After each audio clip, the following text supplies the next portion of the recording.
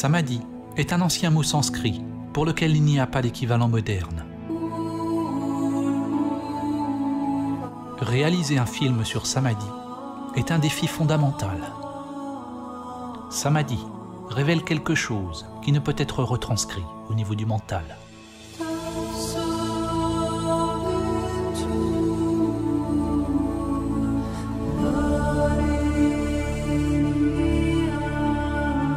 Ce film est simplement la manifestation extérieure de mon propre voyage intérieur. L'intention n'est pas de vous apprendre ce qu'est Samadhi ou de transmettre des informations à votre intellect, mais de vous inspirer à découvrir directement votre vraie nature.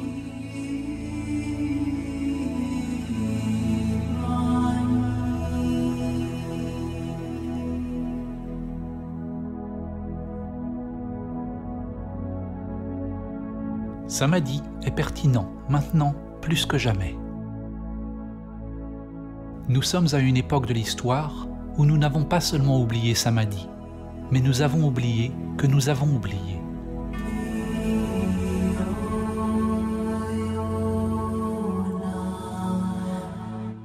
Cet oubli est Maya, l'illusion du soi.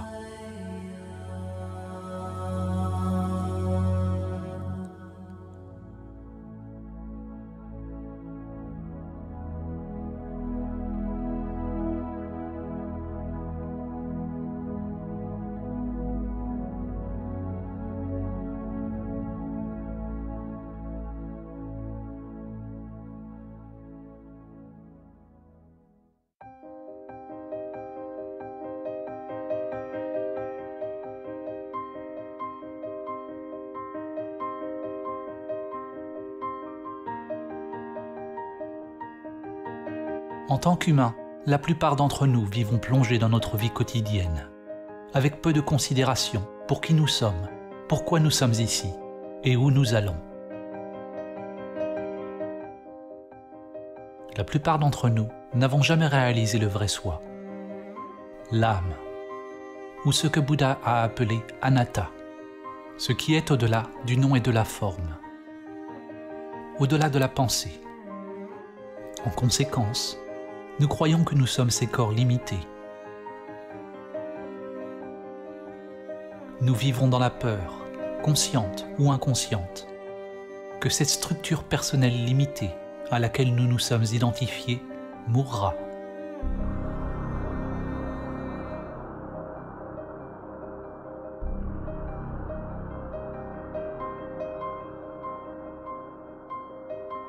Dans le monde d'aujourd'hui, la grande majorité des gens qui se sont engagés dans des pratiques religieuses ou spirituelles, telles que le yoga, les prières, la méditation, la psalmodie ou toute autre sorte de rituel, pratiquent des techniques qui sont conditionnées, ce qui signifie qu'elles font partie de la structure de l'ego. La recherche et l'activité ne sont pas le problème. Penser que vous avez trouvé la réponse dans certaines formes extérieures est le problème. La spiritualité, dans sa forme la plus commune, n'est nullement différente de la pensée pathologique que l'on voit partout. Il ne s'agit de rien d'autre que d'agitation de l'intellect, plus de faire humain que d'être humain. L'ego veut plus d'argent, plus de puissance, plus d'amour, plus de tout. Ceux qui sont sur le soi-disant chemin spirituel désirent être plus spirituels, plus éveillés, plus sereins, plus en paix, plus éclairés. Le danger pour vous en regardant ce film est que votre intellect va vouloir acquérir samadhi Encore plus dangereux est que votre intellect pourrait penser qu'il a acquis Samadhi. Chaque fois qu'il y a un désir d'atteindre quelque chose, vous pouvez être sûr que c'est l'ego à l'ouvrage. Samadhi n'est pas atteindre ou ajouter quelque chose de plus à vous-même.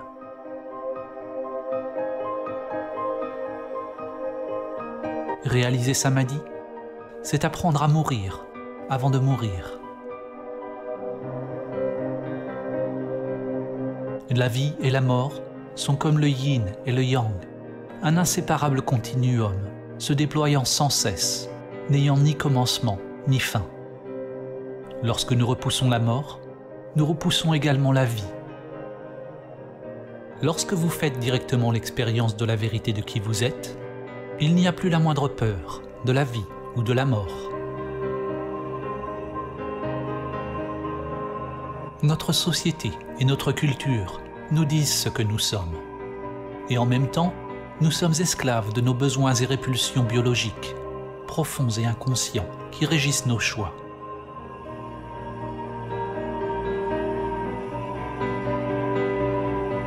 La structure de l'ego n'est rien de plus qu'une pulsion de répétition. C'est tout simplement le chemin que l'énergie a pris auparavant et la tendance de l'énergie à reprendre ce chemin à nouveau qu'il soit positif ou négatif pour l'organisme.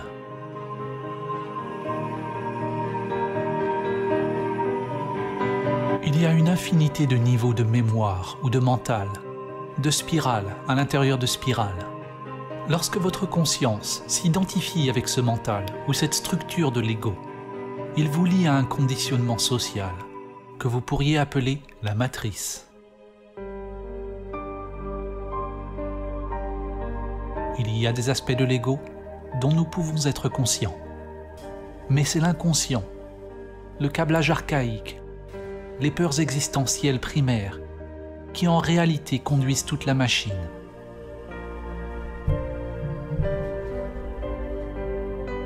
D'incessants motifs en quête de plaisir et en fuite de la douleur sont sublimés dans des comportements pathologiques. Notre travail,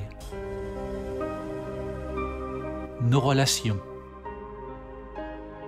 nos croyances, nos pensées mêmes et notre façon de vivre. Comme du bétail, la plupart des humains vivent et meurent dans un assujettissement passif, alimentant la matrice de leur vie.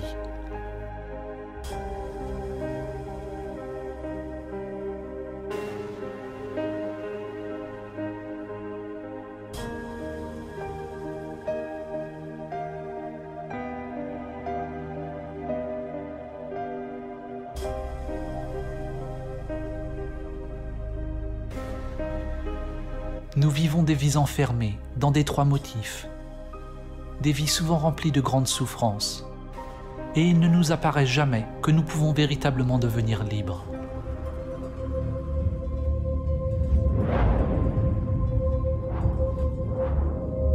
Il est possible de laisser derrière la vie qui a été héritée du passé, pour vivre celle qui attend de percer à travers le monde intérieur.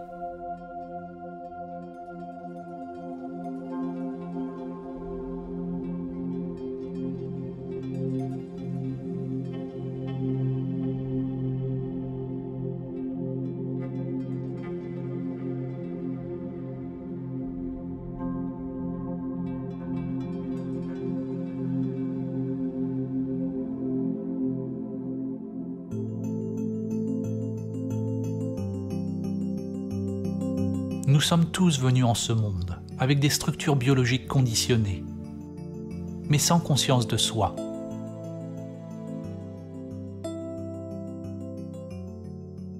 Souvent, lorsque l'on regarde dans les yeux d'un jeune enfant, il n'y a aucune trace de soi, seulement un vide lumineux.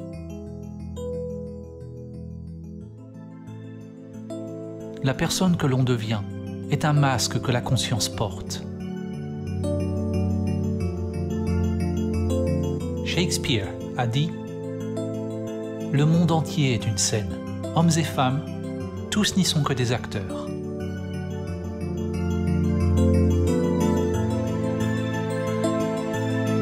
Chez un individu éveillé, la conscience brille à travers la personnalité, à travers le masque.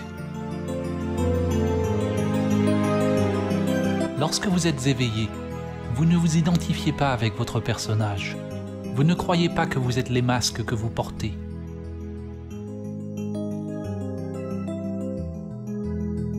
Mais vous ne cessez pas non plus de jouer un rôle.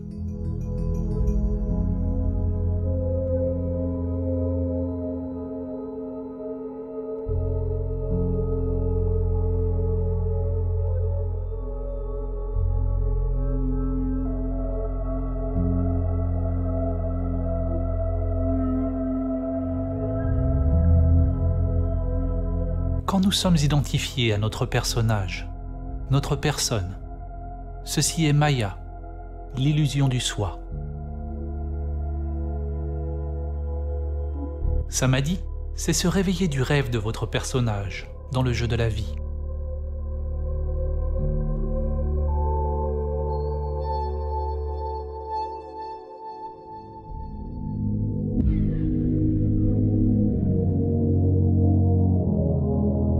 2400 ans après que Platon eut écrit la République, l'humanité continue toujours à chercher la sortie de la caverne.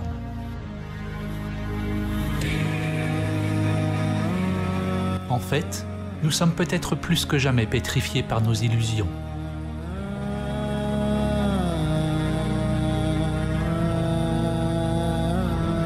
Platon fait décrire par Socrate un groupe de personnes qui vivaient enchaînées dans une caverne toute leur vie, face à un mur blanc. Tout ce qu'ils pouvaient voir étaient des ombres projetées sur le mur par les choses qui passaient devant un feu qui se trouvait derrière eux. Ce spectacle de marionnettes devint leur monde. Selon Socrate, les ombres étaient le plus proche de la réalité que les prisonniers pourraient jamais espérer voir. Même après avoir été informés sur le monde extérieur, ils continuèrent de croire que les ombres étaient tout ce qui existait. Même s'ils soupçonnaient qu'il y avait quelque chose de plus, ils ne voulaient pas lâcher ce qui leur était familier.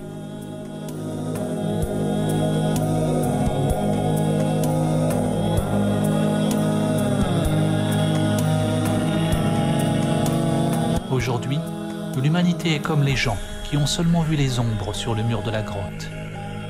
Les ombres sont analogues à nos pensées. Le monde de la pensée est le seul monde que nous connaissons. Mais il y a un autre monde qui est au-delà de la pensée, au-delà du mental dualiste. Êtes-vous prêt à quitter la grotte? À quitter tout ce que vous avez connu pour découvrir la vérité de qui vous êtes?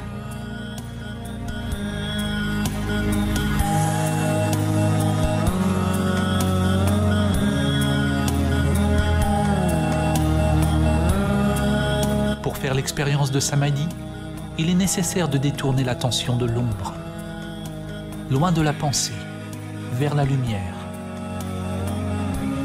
Lorsqu'une personne est seulement habituée à l'obscurité, elle doit progressivement s'acclimater à la lumière.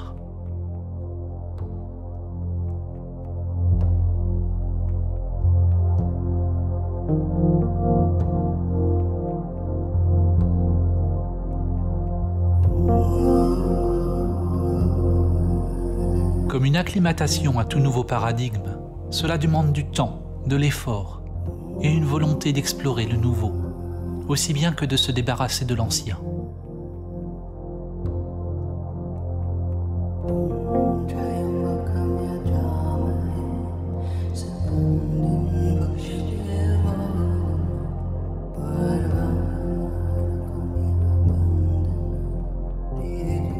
Le mental peut être comparé à un piège pour la conscience, un labyrinthe ou une prison.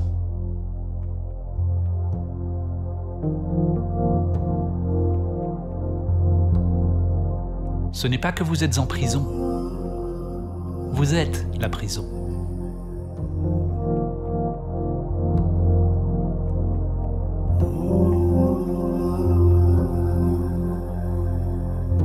La prison est une illusion.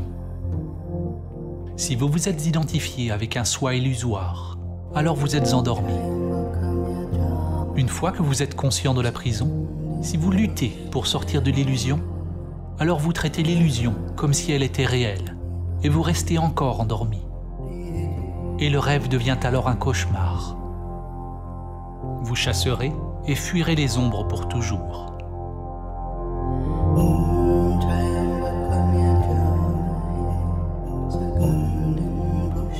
Samadhi, c'est se réveiller du rêve du soi séparé ou de la structure égoïque.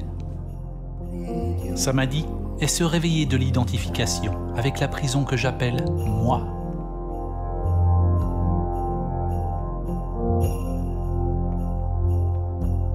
Vous ne pouvez jamais être réellement libre parce que partout où vous allez, votre prison est là. S'éveiller n'est pas se débarrasser du mental ou de la matrice. Au contraire, lorsque vous n'êtes pas identifié avec elle, alors vous pouvez vivre le jeu de la vie plus pleinement, en appréciant le spectacle tel qu'il est, sans désir, sans peur. Dans les anciens enseignements, on appelait cela le jeu divin de Leila, le jeu de la dualité.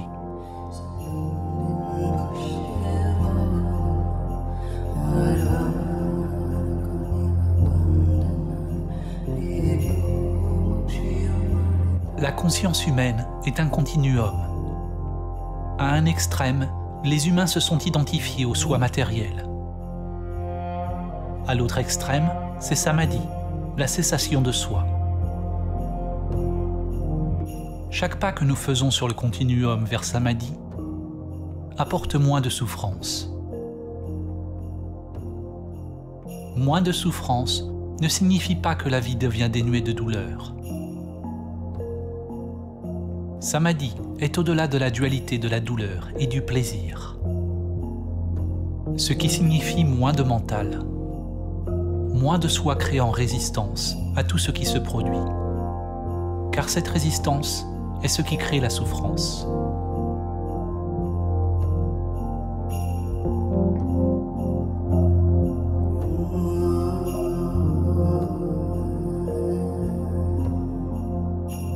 Réaliser Samadhi, même une seule fois, vous permet de voir ce qui est à l'autre extrémité du continuum, afin de voir qu'il y a autre chose que le monde matériel et l'intérêt personnel.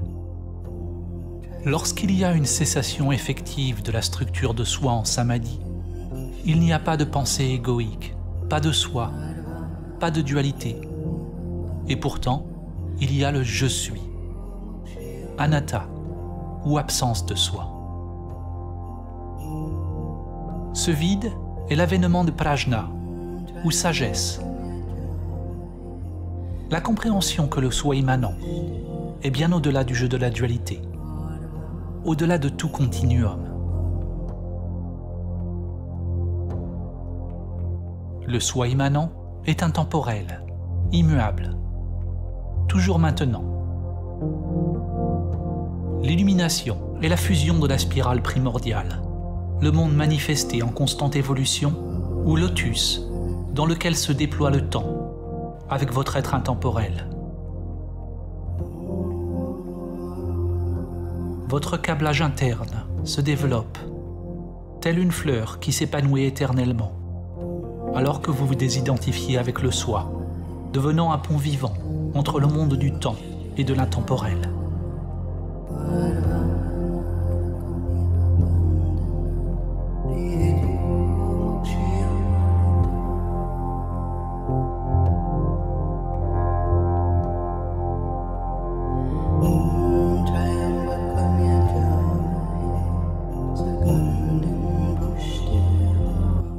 La simple réalisation du soi immanent n'est que le début du chemin.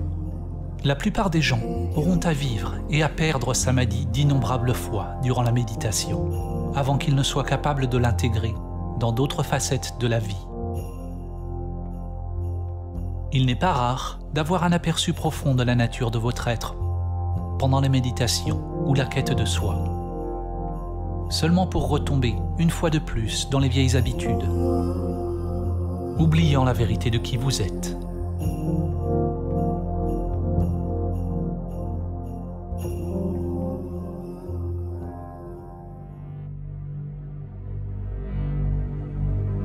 Réaliser l'immobilité ou le vide dans toutes les facettes de la vie, toutes les facettes de soi, c'est devenir la danse du vide en toute chose.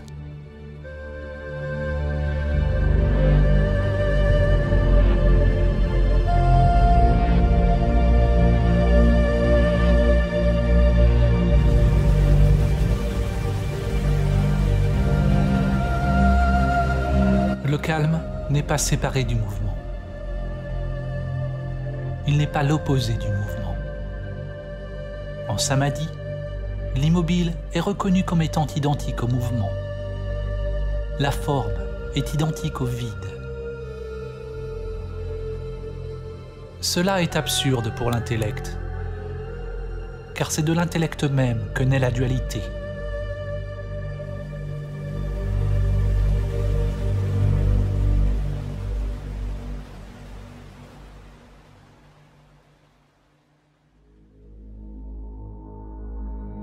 René Descartes, le père de la philosophie occidentale, est célèbre pour le dicton Je pense, donc je suis. Aucune autre phrase ne résume plus clairement la chute de la civilisation et la pleine ampleur de l'identification avec les ombres sur le mur de la grotte. L'erreur de Descartes, comme l'erreur de presque tous les humains, était l'assimilation de l'être fondamental avec la pensée.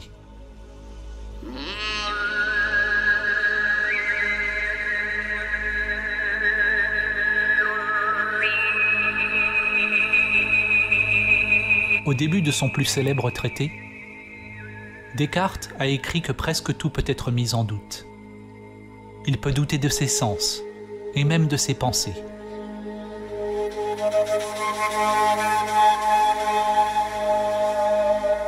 De même, dans le Sutra du Kalama, Bouddha dit que pour établir la vérité, on doit remettre en doute toutes les traditions, les écritures, les enseignements et tout le contenu de notre propre intellect et de nos sens. Ces deux hommes ont commencé avec beaucoup de scepticisme, mais la différence est que Descartes a arrêté de chercher au niveau de la pensée, alors que Bouddha est allé plus en profondeur. Il a pénétré au-delà des niveaux les plus profonds de l'intellect. Peut-être que si Descartes était allé au-delà de sa pensée intellectuelle, il aurait réalisé sa vraie nature. Et la conscience occidentale serait aujourd'hui très différente.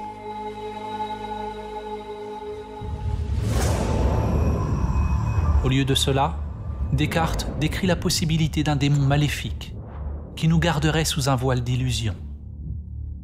Descartes n'a pas reconnu ce démon pour ce qu'il était.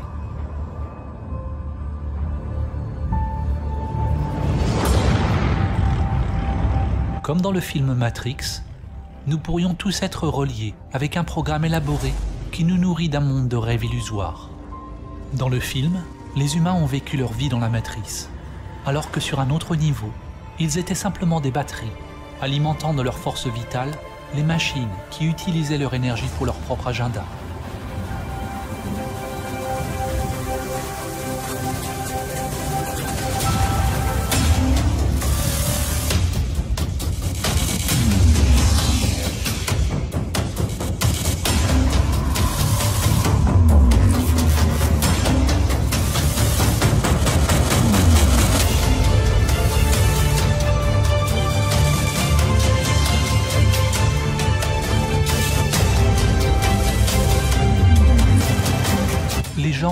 Toujours blâmer quelque chose en dehors d'eux-mêmes, pour l'état du monde, ou pour leur propre malheur.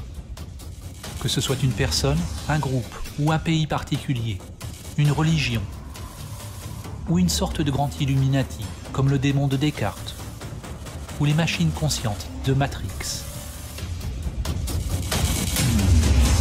Ironiquement, le démon dont Descartes envisageait l'existence était la chose même par laquelle il se définissait lui-même Lorsque vous réalisez sa magie, il devient clair qu'il y a quelqu'un qui commande, qu'il y a une machine, un démon qui vampirise votre vie, jour après jour. La machine, c'est vous.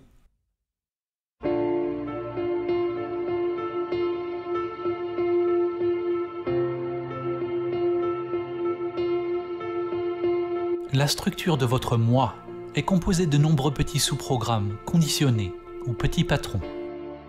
Un petit patron qui se gouffre de nourriture, un autre désire l'argent, un autre le statut, la position, la puissance, le sexe, l'intimité. Un autre veut la conscience ou l'attention des autres. Les désirs sont littéralement sans fin et ne peuvent jamais être satisfaits.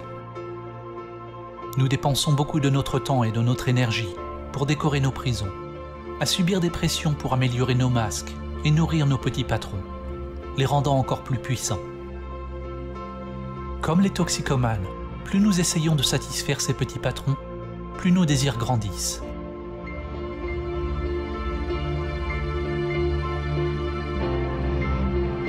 Le chemin vers la liberté n'est pas l'amélioration de soi ou la satisfaction de l'agenda du soi. Il s'agit d'un abandon total de cet agenda.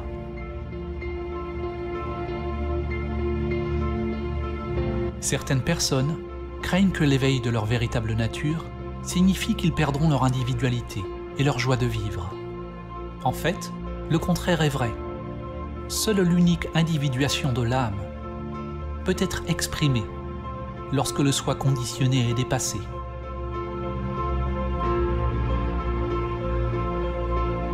Parce que nous demeurons endormis dans la matrice, la plupart d'entre nous ne trouveront jamais ce que l'âme veut exprimer.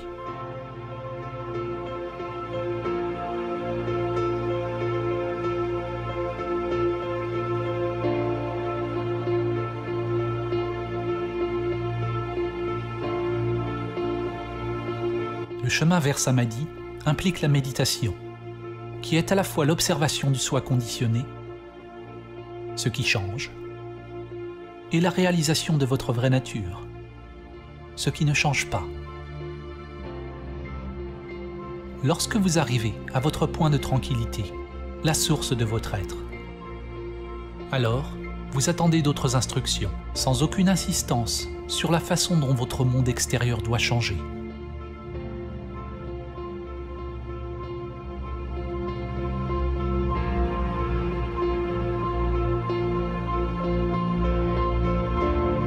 Si l'intellect essaye de changer le monde extérieur, pour le conformer aux idées de ce que vous pensez que le chemin doit être, c'est comme essayer de modifier l'image dans un miroir en manipulant la réflexion. Pour faire sourire l'image dans un miroir, vous ne pouvez évidemment pas manipuler la réflexion. Vous devez réaliser le vous, qui est la source authentique de la réflexion. Une fois que vous réalisez le soi authentique, vous comprenez que rien d'extérieur n'a besoin de changer. Ce qui change, c'est l'énergie intérieure consciente, intelligente ou prana, qui est libérée des modèles conditionnés et devient disponible pour être dirigée par l'âme. Vous ne pouvez que prendre conscience de l'intention de l'âme lorsque vous êtes en mesure de regarder le soi conditionné et ses activités sans fin et les laisser partir.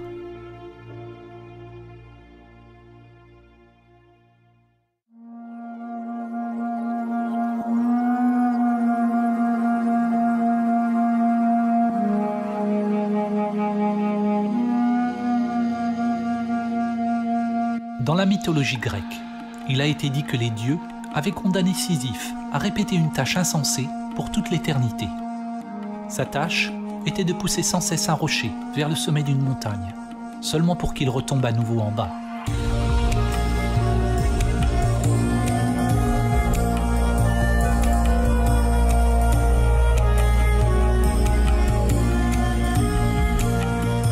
L'auteur existentialiste français et prix Nobel Albert Camus a compris la situation de Sisyphe comme une métaphore de l'humanité. Il a posé la question comment pouvons-nous trouver du sens à cette existence absurde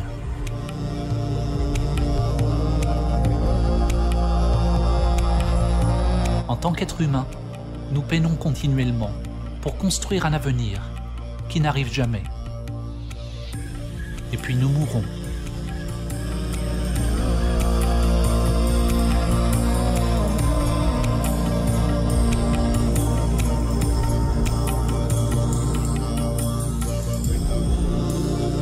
Comprenons vraiment cette vérité,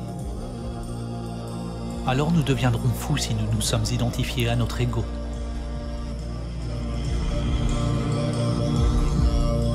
Ou bien nous nous réveillerons et deviendrons libres.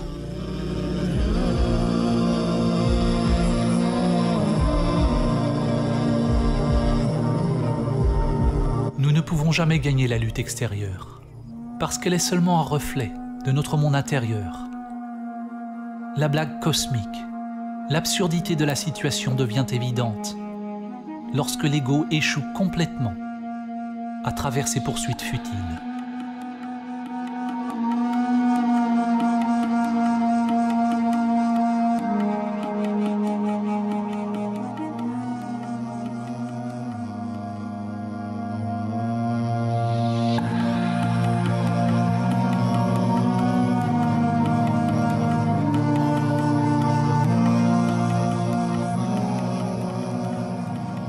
Tradition zen, il y a un dicton.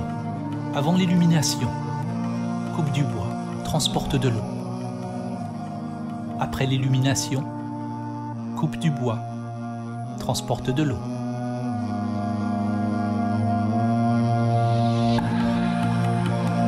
Avant l'illumination, il faut pousser le rocher en haut de la colline. Après l'illumination, il faut aussi pousser le rocher au sommet de la colline. Qu'est-ce qui a changé? La résistance intérieure à ce qui est. La lutte a été abandonnée, ou plutôt celui qui lutte a été réalisé comme illusoire. La volonté individuelle, ou le mental individuel, et la volonté divine, ou esprit supérieur, sont alignés.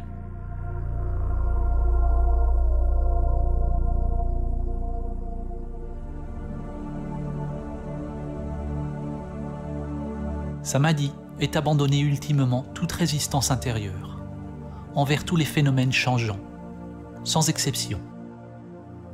Celui qui est capable de réaliser la paix intérieure, quelles que soient les circonstances, a atteint le véritable samadhi. Vous lâchez la résistance, non pas parce que vous approuvez une chose ou une autre, mais pour que votre liberté intérieure ne dépende pas du contingent de l'extérieur. Il est important de noter que lorsque nous acceptons la réalité telle qu'elle est, cela ne signifie pas nécessairement que nous cessons toute action dans le monde, ou que nous devenons des méditateurs pacifistes. En fait, le contraire peut être vrai. Lorsque nous sommes libres d'agir, sans être entraînés par des motifs inconscients, il est alors possible d'agir en alignement avec le Tao, avec toute la force de notre énergie intérieure.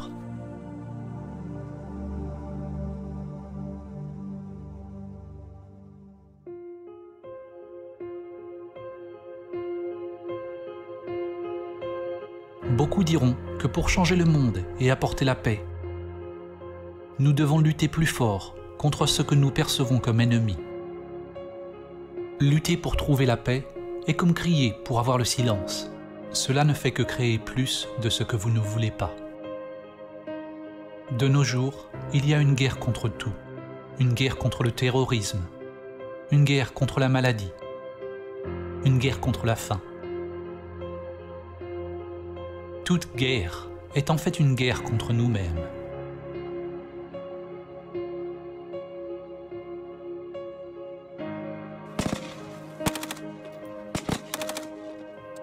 Le combat fait partie d'une illusion collective. Nous disons que nous voulons la paix, mais nous continuons d'élire des dirigeants qui se livrent à la guerre. Nous nous mentons à nous-mêmes en disant que nous sommes pour les droits de l'homme, mais continuons d'acheter des produits manufacturés dans des ateliers de misère. Nous disons que nous voulons de l'air pur, mais nous continuons de polluer. Nous voulons que la science nous guérisse du cancer, mais nous ne changeons pas nos comportements autodestructeurs, qui nous rendent vraisemblablement malades. Nous nous berçons de l'illusion que nous promouvons une vie meilleure. Nous ne voulons pas voir nos parties cachées, qui tolèrent la souffrance et la mort.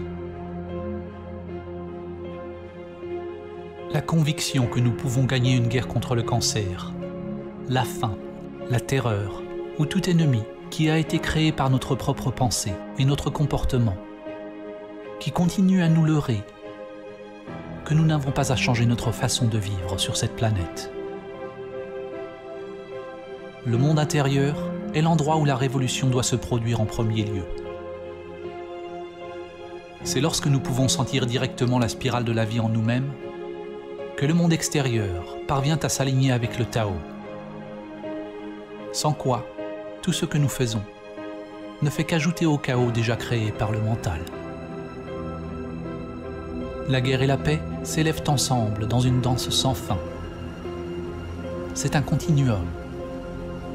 Une moitié ne peut pas exister sans l'autre. Tout comme la lumière ne peut exister sans l'obscurité et le haut ne peut exister sans le bas.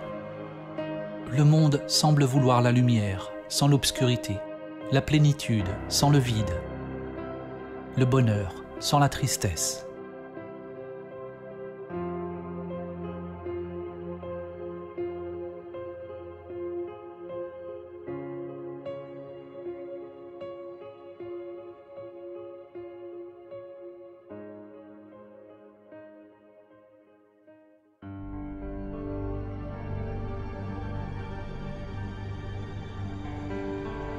Plus le mental est impliqué, plus le monde devient fragmenté. Toute solution qui provient du mental égoïque est insufflée de l'idée qu'il existe un problème. La solution devient alors un problème encore plus grand que celui à résoudre. Ce à quoi vous résistez persiste.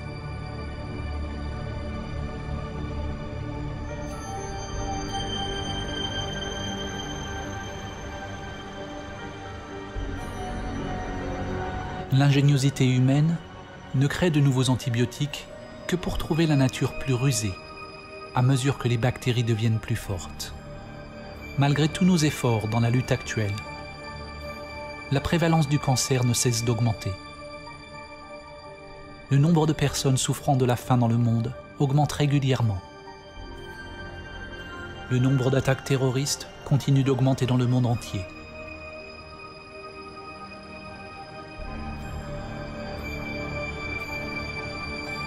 Qu'est-ce qui ne va pas avec notre approche Comme l'apprenti sorcier dans le poème de Goethe, nous possédons une grande puissance, mais nous n'avons pas la sagesse pour l'utiliser.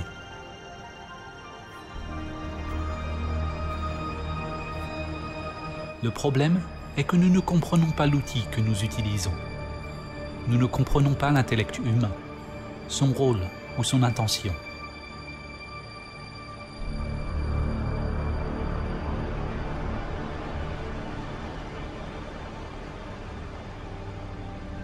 La crise est née de la façon limitée et conditionnée dont nous pensons, la façon dont nous nous sentons et approchons la vie.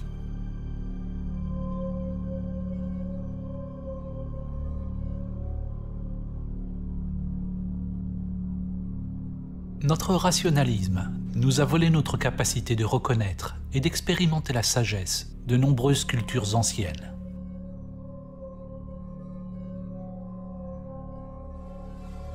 Notre pensée égoïque nous a volé la capacité de sentir la profondeur et la sacralité profonde de la vie et de réaliser des niveaux entièrement différents de la conscience qui sont maintenant presque perdus pour l'humanité.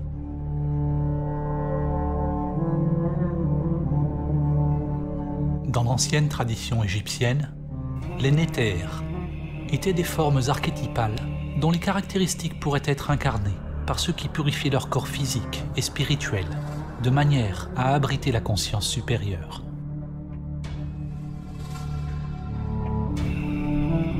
Le néther originel, ou le principe divin de cette sagesse, était connu en tant que Thoth ou Tehuti, souvent dépeint comme un scribe, à la tête d'oiseau d'ibis, représentant l'origine de toute connaissance et sagesse.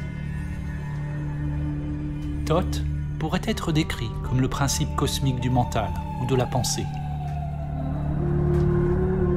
Thoth nous a donné le langage, les concepts, l'écriture, les mathématiques et tous les arts et manifestations de l'esprit. Seuls ceux qui avaient suivi une formation spéciale étaient autorisés à accéder à la connaissance sacrée de Thoth. Le livre de Thoth n'est pas un livre physique, mais c'est la sagesse du royaume akashique ou éthérique. La légende raconte que la connaissance de Thoth était profondément cachée dans un endroit secret au sein de chaque être humain et a été protégée par un serpent d'or.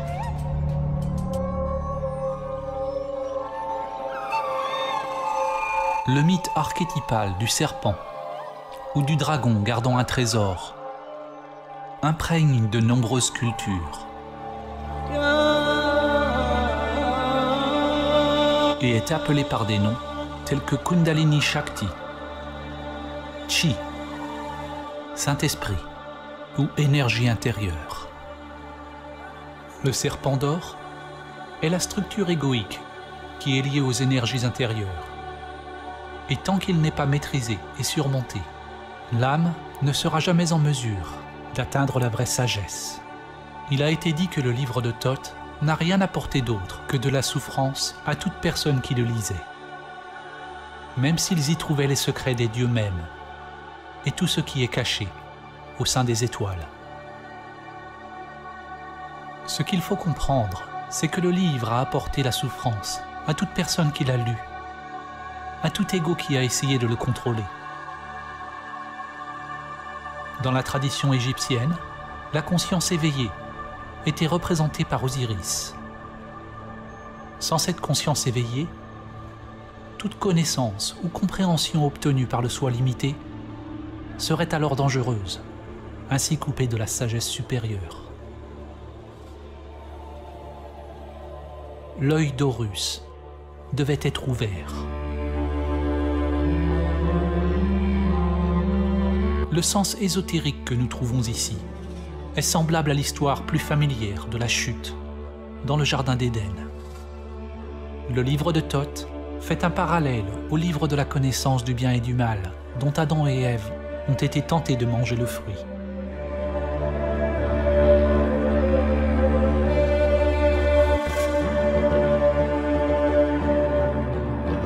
L'humanité a bien sûr déjà mangé le fruit interdit,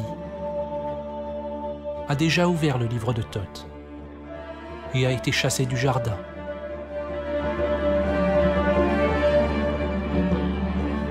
Le serpent est une métaphore de la spirale primordiale qui s'étend du microcosme au macrocosme. Aujourd'hui, le serpent vit en tant que vous.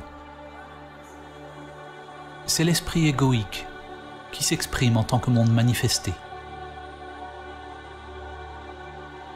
Nous n'avons jamais eu accès à tant de connaissances.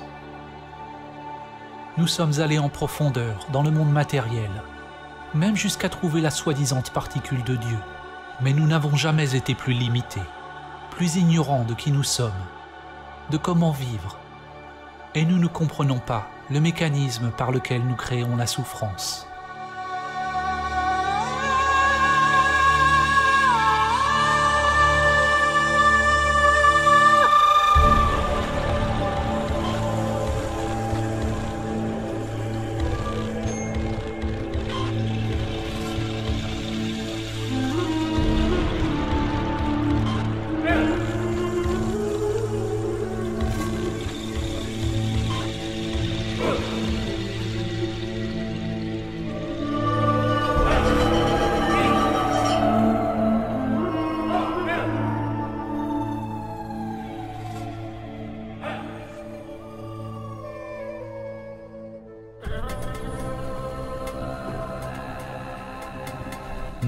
De penser a créé le monde tel qu'il est à présent. À chaque fois que nous catégorisons quelque chose, de bon ou de mauvais, ou créons la préférence dans notre intellect, c'est à cause de l'advenir des structures égoïques ou des intérêts personnels.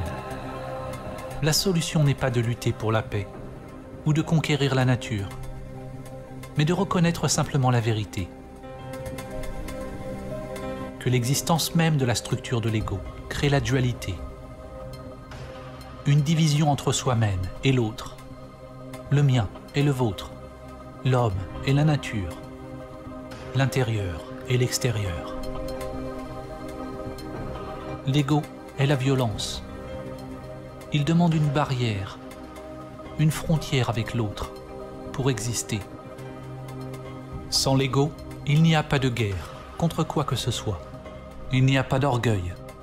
Il n'y a pas à dominer la nature pour en tirer profit. Ces crises extérieures dans notre monde reflètent une grave crise interne.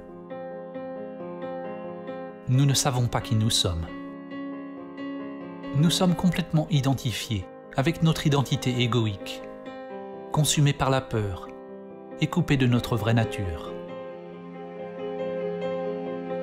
Les races, les religions, les pays, les affiliations politiques, tout groupe auquel nous appartenons renforce nos identités égoïques. Presque tous les groupes qui existent sur la planète aujourd'hui veulent revendiquer leur point de vue comme étant vrai et correct, tout comme nous le faisons à un niveau individuel. En clamant posséder la vérité elle-même, le groupe perpétue sa propre existence, de la même manière dont l'ego ou la structure du soi se définit lui-même à l'encontre des autres. Maintenant plus que jamais, des réalités différentes et des systèmes de croyances polarisés coexistent sur Terre. Il est possible pour des gens différents de faire l'expérience de pensées et réactions émotionnelles complètement différentes face à des phénomènes extérieurs identiques. De la même manière, Nirvana et Samsara, le ciel et l'enfer, sont deux dimensions différentes, occupant le même monde. Un événement qui peut apparaître apocalyptique à une personne pourrait être considéré comme une bénédiction pour une autre. Ce qui devient alors évident est que les circonstances extérieures ne doivent pas influer sur votre monde intérieur d'une manière particulière. Pour réaliser Samadhi, il faut devenir une roue automotrice, devenir autonome, un univers en soi-même. Votre expérience de la vie ne dépend plus des phénomènes changeants Une analogie peut être faite avec le cube de Métatron. Métatron est mentionné dans divers anciens textes chrétiens, islamiques et juifs, et est archétypalement relié avec Thoth, le Néther égyptien, ainsi qu'Hermès Trismégiste de la Grèce. Métatron est intimement lié au tétragramme. Le tétragramme est un motif géométrique fondamental le modèle ou l'émanation primordiale de la réalité physique, ce qui a été appelé la parole de Dieu ou logos. Ici, nous voyons une représentation en deux dimensions de la figure. Mais si vous regardez d'une certaine façon, vous voyez un cube en trois dimensions. Lorsque vous voyez le cube, rien ne change dans la figure, mais votre mental a ajouté une nouvelle dimension à votre vision.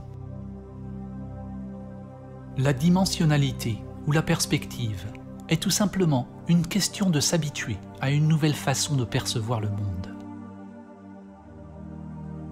En réalisant Samadhi, nous devenons libres de perspective ou libres de créer de nouvelles perspectives, car il n'y a pas de soi investi ou attaché à un point de vue particulier.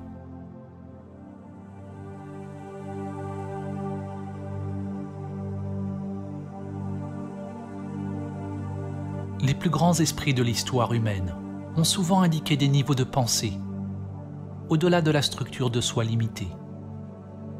Einstein a dit La vraie valeur d'un homme se détermine d'abord en examinant dans quelle mesure et dans quel sens il est parvenu à se libérer du moi.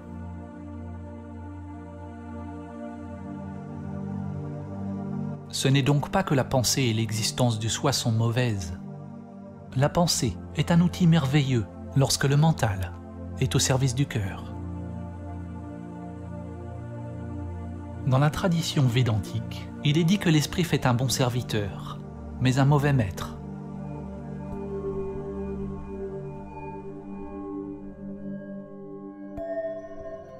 L'ego filtre perpétuellement la réalité à travers le langage et les étiquettes et juge constamment préférant une chose à une autre.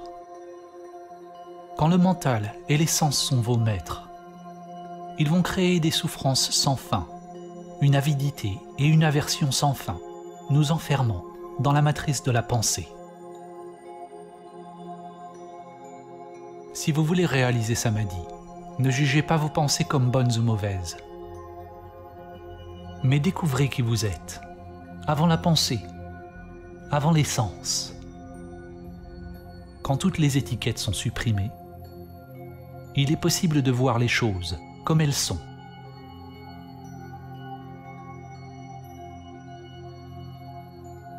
Lorsqu'on explique à un enfant ce qu'est un oiseau, s'il croit ce qu'on lui dit,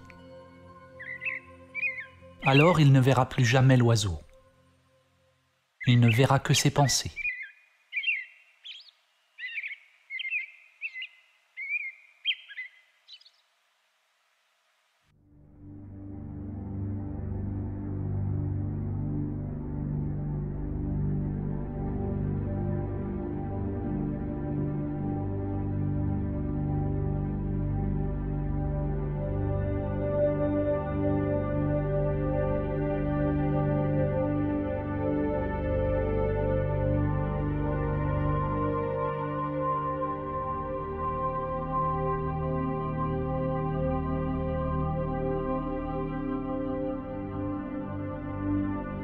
Plupart des gens pensent qu'ils sont libres, conscients et éveillés.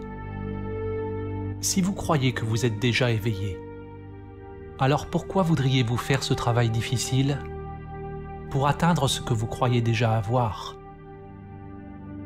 Avant qu'il ne soit possible de s'éveiller, il est nécessaire d'accepter que vous êtes endormi, vivant dans la matrice,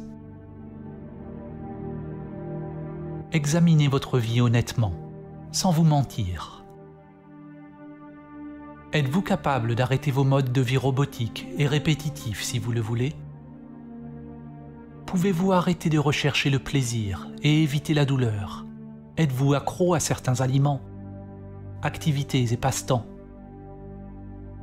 Est-ce que vous jugez, blâmez, vous critiquez vous-même et les autres constamment? Est-ce que votre mental recherche sans cesse la stimulation? Ou êtes-vous complètement comblé, juste en restant en silence? Réagissez-vous à ce dont les gens pensent de vous? Est-ce que vous recherchez l'approbation, le renforcement positif? Sabotez-vous les situations dans votre vie de quelque manière? La plupart des gens vivent leur vie de la même manière aujourd'hui, comme ils la vivront demain, dans un an, et dans dix ans à partir de maintenant. Lorsque vous commencez à observer votre nature robotique, vous devenez plus éveillé. Vous commencez à reconnaître la profondeur du problème. Vous êtes complètement et totalement endormi, perdu dans un rêve. Comme les habitants de la grotte de Platon, la plupart de ceux qui entendent cette vérité ne seront pas disposés ou capables de changer leur vie, car ils sont attachés à leur modèle familier.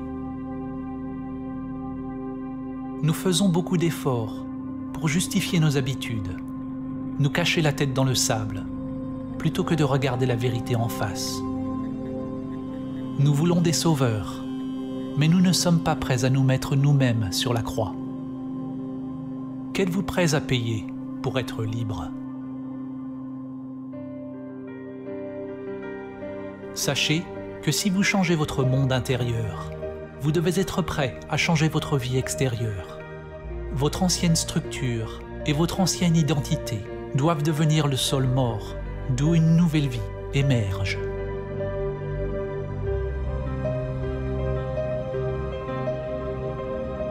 Le premier pas vers l'éveil est de réaliser que nous sommes identifiés avec la matrice du mental humain, avec le masque, quelque chose en nous doit entendre cette vérité et émerger de son sommeil. Il y a une partie de vous, quelque chose d'intemporel, qui a toujours connu la vérité.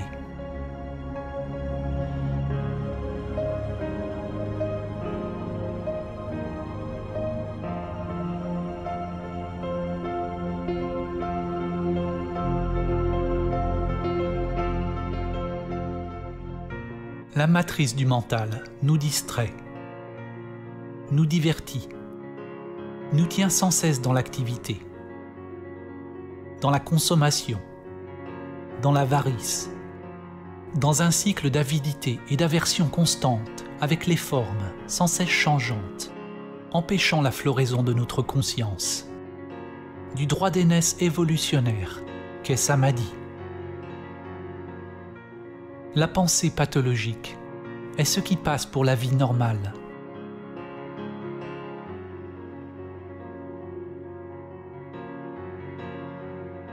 Votre essence divine est devenue asservie, identifiée à la structure du soi limité. La grande sagesse, la vérité de qui vous êtes, est enterrée au plus profond de votre être.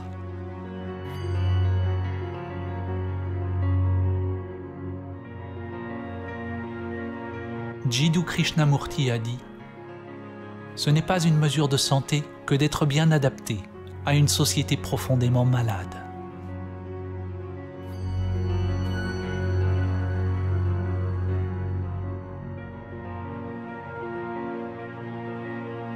L'identification avec le mental égoïque est la maladie. Et Samadhi est le remède.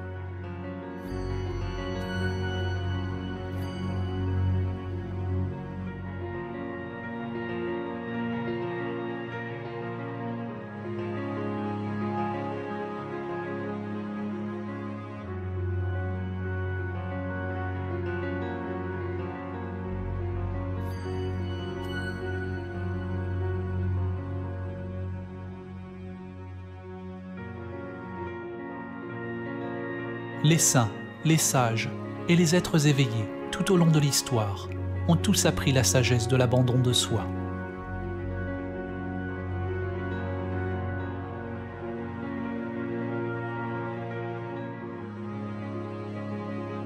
Comment est-il possible de réaliser le vrai soi?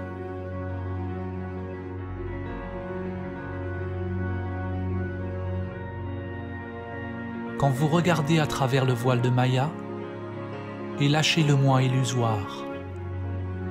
Que reste-t-il?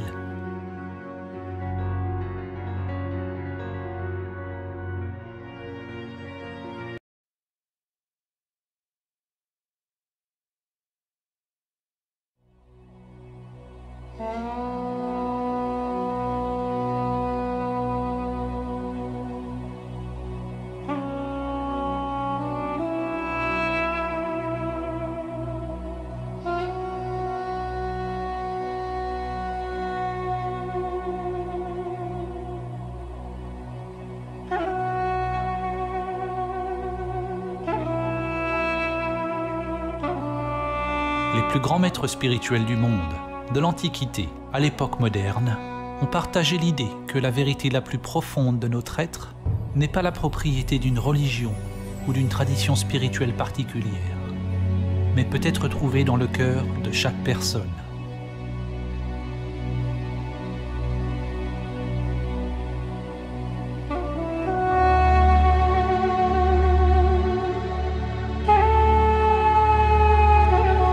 Poète Rumi a dit Où est cette lune qui jamais ne se lève ou ne se couche?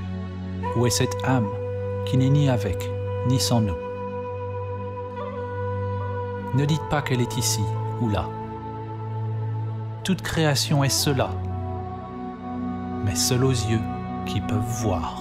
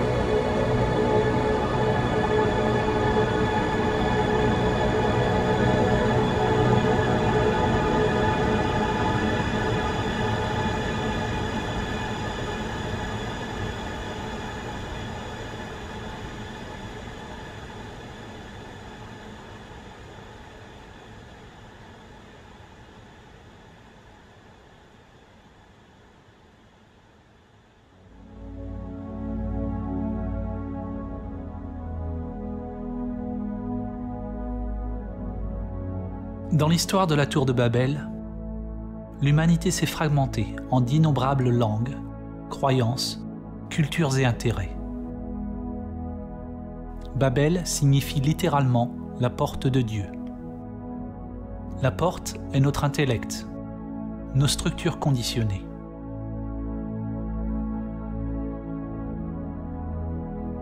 Pour ceux qui viennent à réaliser leur vraie nature, leur essence au-delà du nom et de la forme, ceux-là sont initiés au grand mystère de ce qui se trouve au-delà de la porte.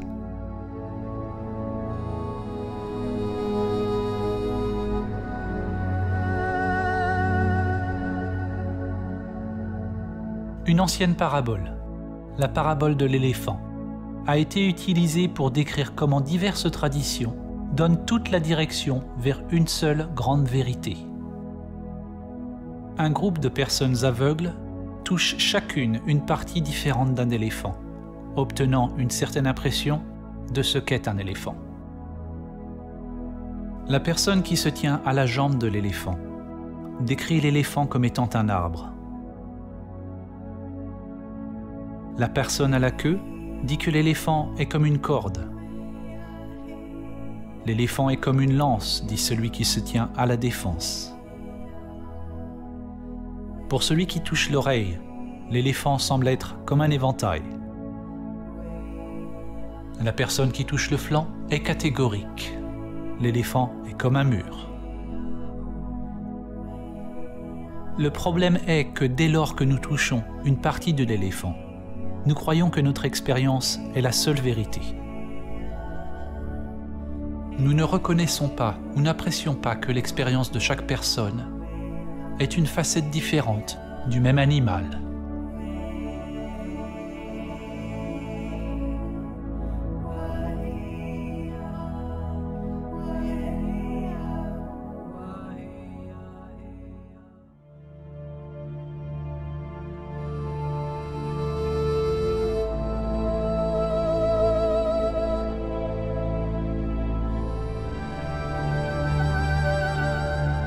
La philosophie pérenne ou éternelle est un entendement que toutes les traditions spirituelles ou religieuses partagent une seule vérité universelle, une réalité mystique ou transcendante, sur laquelle toutes les connaissances et doctrines spirituelles se fondent.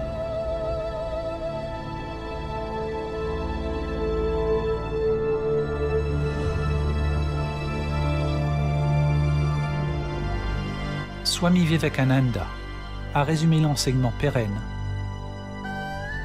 en disant que la fin de toutes les religions est la réalisation de Dieu dans l'âme.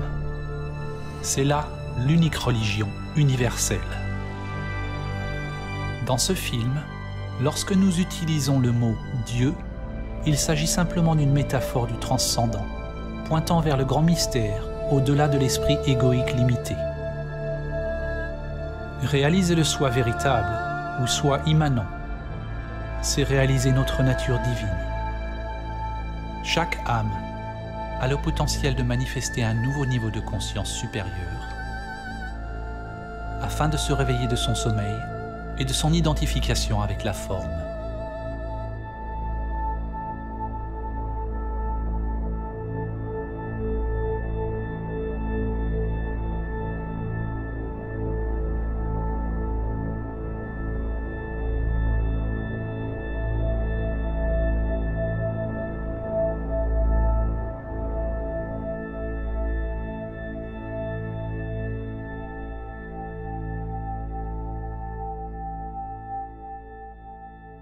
L'écrivain et visionnaire Aldous Huxley, connu pour son livre Le meilleur des mondes, est également l'auteur d'un livre intitulé La philosophie éternelle, dans lequel il rapporte un enseignement répété maintes fois au travers de l'histoire, et qui prend la forme de la culture au sein de laquelle il se réalise. Il écrit La philosophie pérenne est exprimée le plus succinctement dans la formule sanscrite Tat Tvam Asi tu es cela. L'Atman, ou soi immanent éternel, est un avec Brahman, le principe absolu de toute existence. Et la fin dernière de tout être humain est de découvrir ce fait pour lui-même, pour savoir qui il ou elle est vraiment.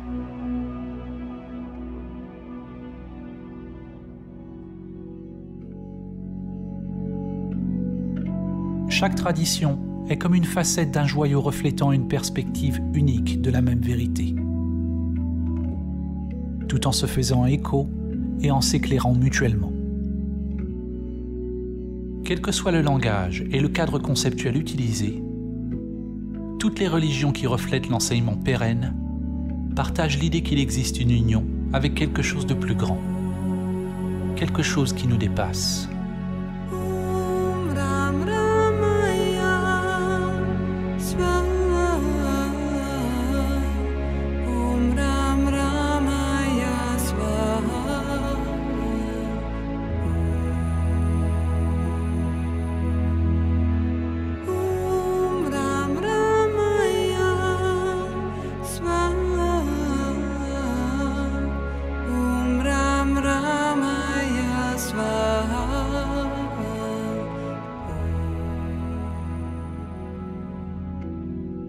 Possible d'apprendre et d'intégrer les enseignements d'une ou de plusieurs sources sans s'identifier avec ceux-ci.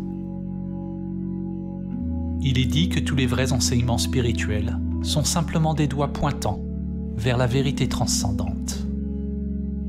Si nous nous attachons au dogme, à l'enseignement, pour leur réconfort, nous serons retardés dans notre évolution spirituelle. Réaliser la vérité au-delà de tout concept c'est abandonner toute accroche et attachement. Abandonner tous les concepts religieux.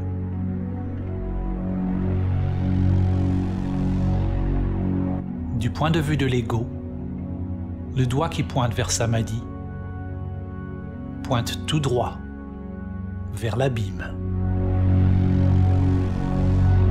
Saint Jean de la Croix a dit si l'on veut être sûr de la route que l'on foule, il nous faut fermer les yeux et marcher dans le noir.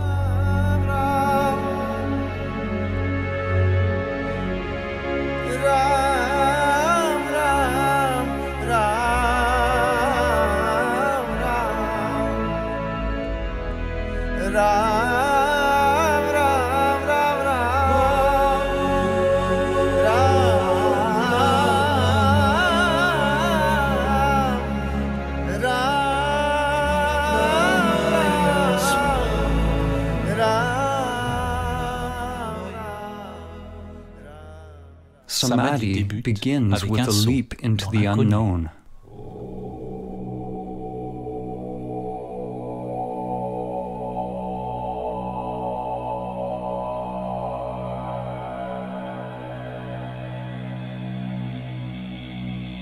Dans les anciennes traditions, afin de réaliser Samadhi, il a été dit que l'on devait ultimement détourner la conscience de tous les objets connus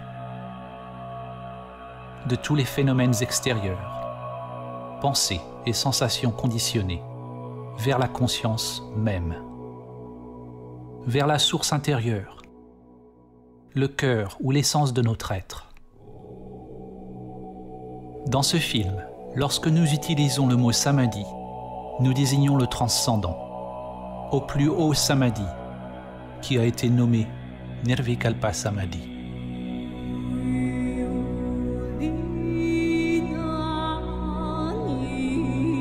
En Nirvikalpa Samadhi se trouve la cessation de l'activité de soi, de toute recherche et action.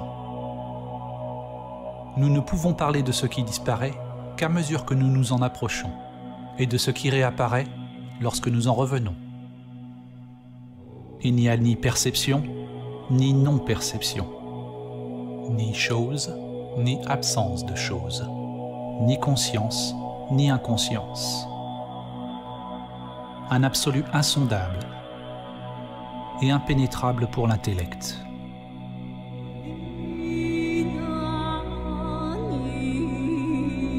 Quand le moi retourne à l'activité, il y a un non-savoir, une sorte de renaissance, et tout redevient nouveau.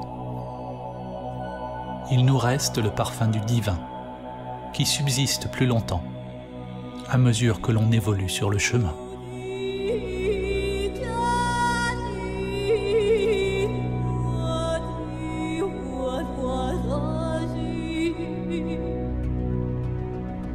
Il existe de nombreux types de samadhi, décrits dans les anciennes traditions. Et la langue a créé beaucoup de confusion au cours des années.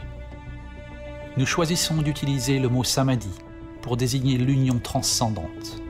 Mais nous aurions pu utiliser aussi facilement un mot provenant d'une autre tradition.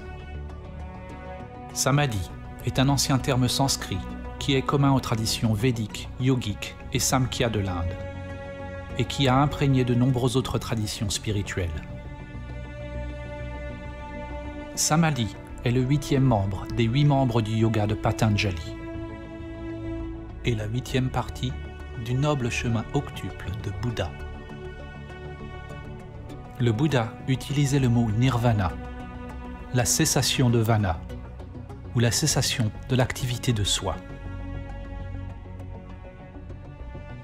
Patanjali a décrit le yoga ou samadhi comme Chitta Vritti Nirodha, le sanskrit signifiant cessation du tourbillon ou spirale du mental. C'est un démêlage de la conscience, de toute la matrice ou créatrix de l'intellect.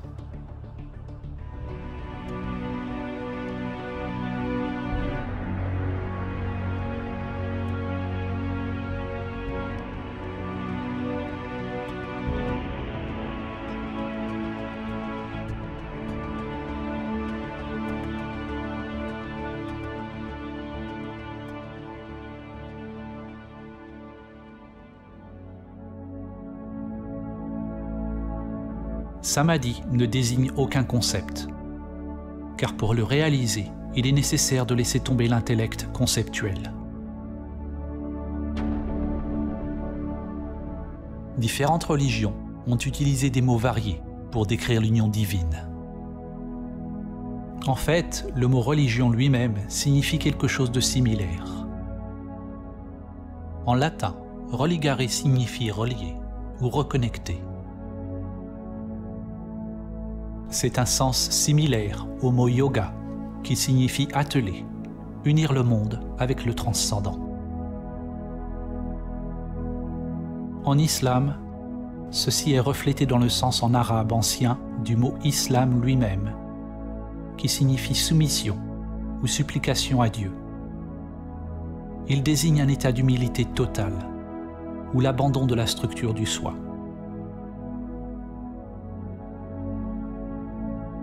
Les mystiques chrétiens, tels que Saint François d'Assise, Sainte Thérèse d'Avila et Saint Jean de la Croix, décrivent une union divine avec Dieu, le royaume intérieur de Dieu. Dans l'évangile de Thomas, le Christ a dit, Le royaume n'est pas par ici ou par là, en vérité, le royaume du Père s'étend sur la terre, mais les hommes ne le voient pas. Les œuvres des philosophes grecs, Platon, Plotin, Parménide et Héraclite, vues à travers l'objectif de l'enseignement pérenne, nous dirigent vers la même sagesse. Plotin nous apprend que le plus grand effort humain est de guider l'âme humaine vers l'état suprême de perfection et d'union avec l'un.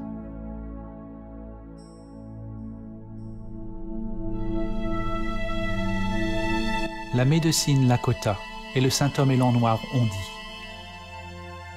La première paix, qui est la plus importante, est celle qui vient dans l'âme des hommes quand ils réalisent leur relation, leur unicité avec l'univers et toutes ses puissances.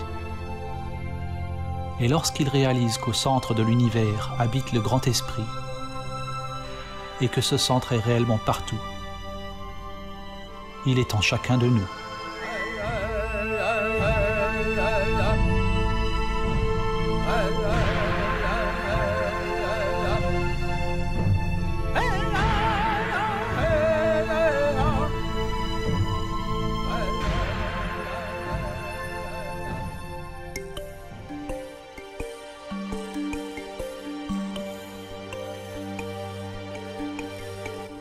Sur le chemin de l'éveil, à moins que nous soyons en samadhi.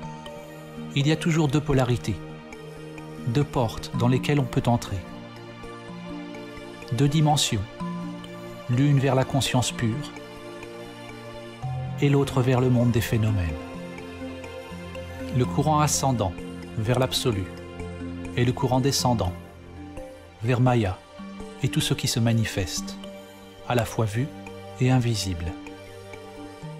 La relation entre relatif et absolu pourrait être résumée dans la citation suivante de Sri Nisargadatta Maharaj. La sagesse est de savoir que je ne suis rien. L'amour est de savoir que je suis tout. Et entre les deux, ma vie fluctue.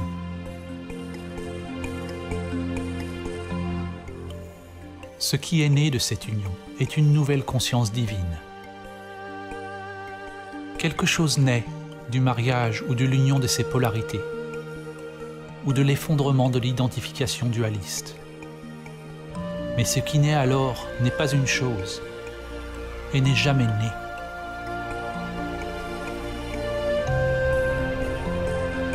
La conscience fleurit et crée quelque chose de nouveau, que l'on pourrait nommer une Trinité éternelle. Dieu le Père, le transcendant, inconnaissable et immuable, est uni au divin féminin, qui est tout ce qui change. Cette union entraîne une transformation alchimique, une sorte de mort et de renaissance. Dans les enseignements védiques, l'union divine est représentée par deux forces fondamentales, Shiva et Shakti. Les noms et les visages des différents dieux changent à travers l'histoire, mais leurs attributs fondamentaux demeurent. Ce qui naît de cette union est une nouvelle conscience divine, une nouvelle manière d'être dans le monde. Deux polarités inséparablement une, une énergie universelle, sans centre, sans limitation. C'est l'amour pur. Il n'y a rien à y gagner ou à y perdre, car c'est un vide complet et simultanément absolument plein.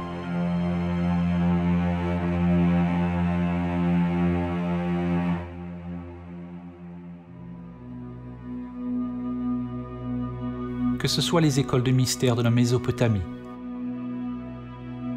les traditions spirituelles des Babyloniens et des Assyriens, les religions de l'Égypte ancienne, les cultures nubiennes et kémétiques de l'Afrique ancienne, les traditions chamaniques et indigènes autour du monde, le mysticisme de la Grèce antique, les gnostiques, les non-dualistes, les bouddhistes, les taoïstes, les juifs, les zoroastriens, les jains, les musulmans ou les chrétiens. On découvre que leur lien commun est la plus haute perspicacité spirituelle qui a permis à leurs adhérents de réaliser Samadhi.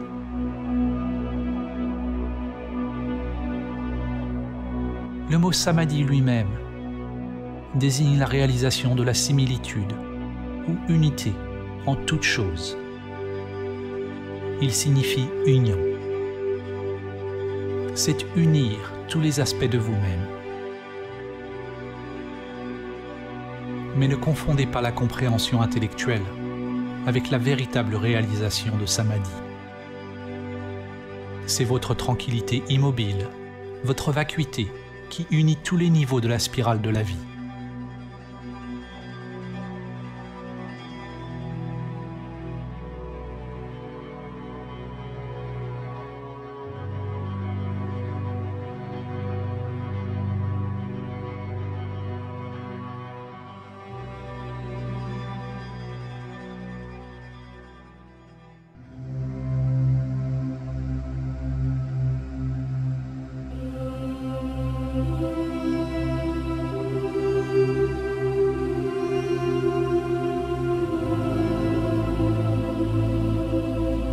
C'est à travers l'enseignement ancien de Samadhi que l'humanité peut commencer à comprendre la source commune de toutes les religions et à s'aligner à nouveau sur la spirale de la vie, le grand esprit, le Dhamma ou le Tao. La spirale est le pont qui s'étend du microcosme au macrocosme.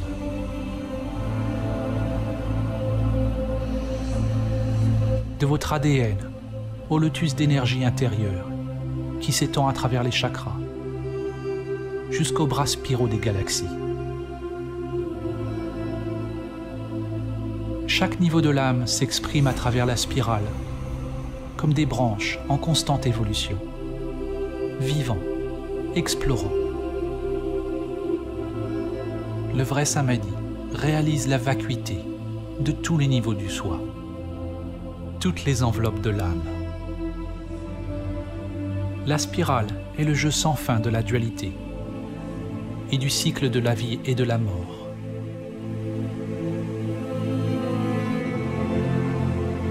Parfois, nous oublions notre connexion à la source.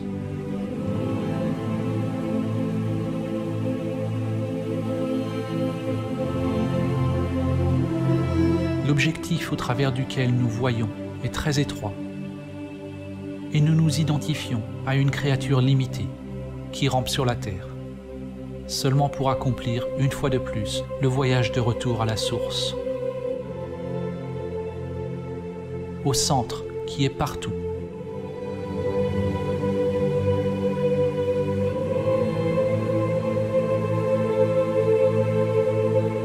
Chuang Tzu a dit, quand il n'y a plus de séparation entre ceci et cela, on l'appelle le point immobile du Tao, au point stationnaire, au centre de la spirale. On peut voir l'infini en toutes choses.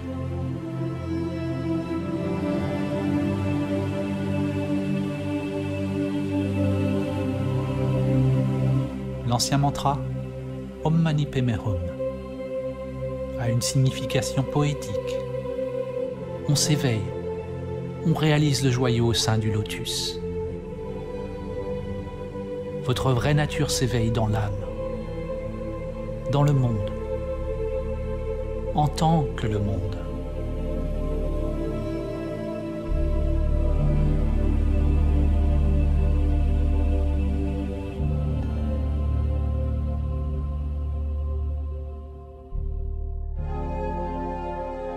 en utilisant le principe hermétique, ainsi en haut, tel en bas, ainsi en bas, tel en haut. Nous pouvons utiliser des analogies pour commencer à comprendre la relation entre l'esprit et l'immobile, le relatif et l'absolu.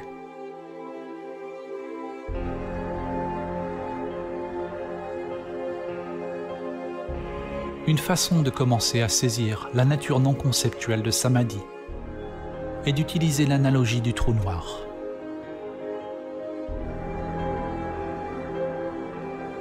Un trou noir est traditionnellement décrit comme une région de l'espace avec un champ gravitationnel massif et si puissant qu'aucune lumière ou matière ne peut s'en échapper.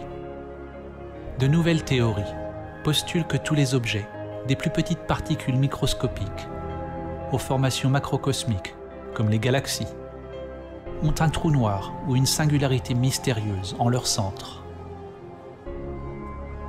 Dans cette analogie, nous allons utiliser cette nouvelle définition d'un trou noir comme étant le centre qui est partout.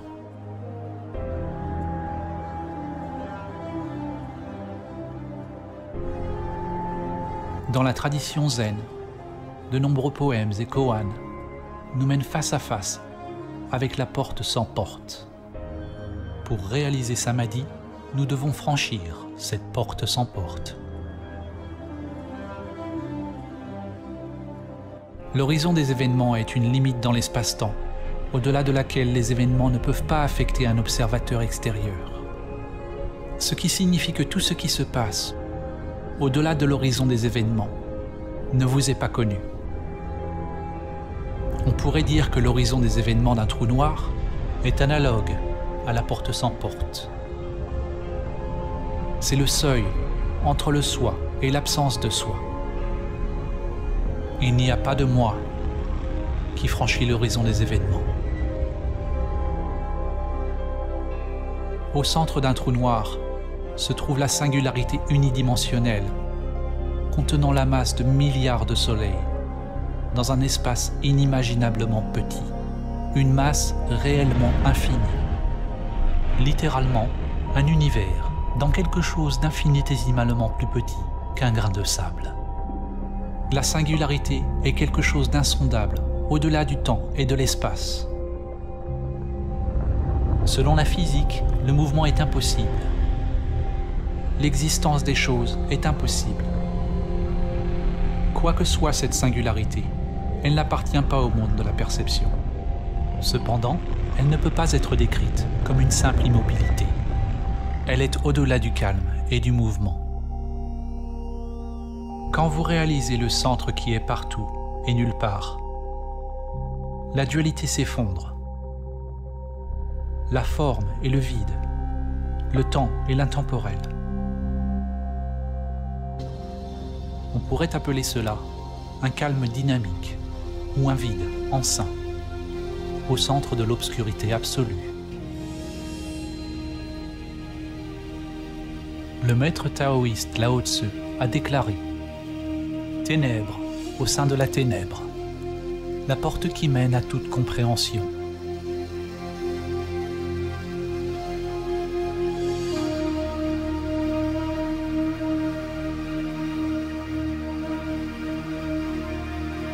Le mythologue comparatif et écrivain Joseph Campbell décrit un symbole récurrent.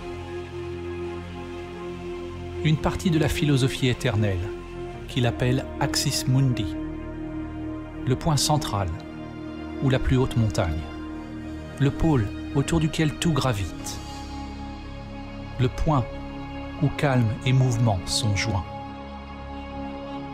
De ce centre est réalisé un puissant arbre à fleurs un arbre de la Bodhi qui rejoint tous les mondes.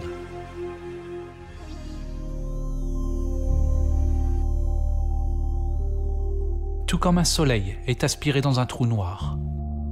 Quand vous approchez de la grande réalité, votre vie commence à tourner autour d'elle. Et vous commencez à disparaître.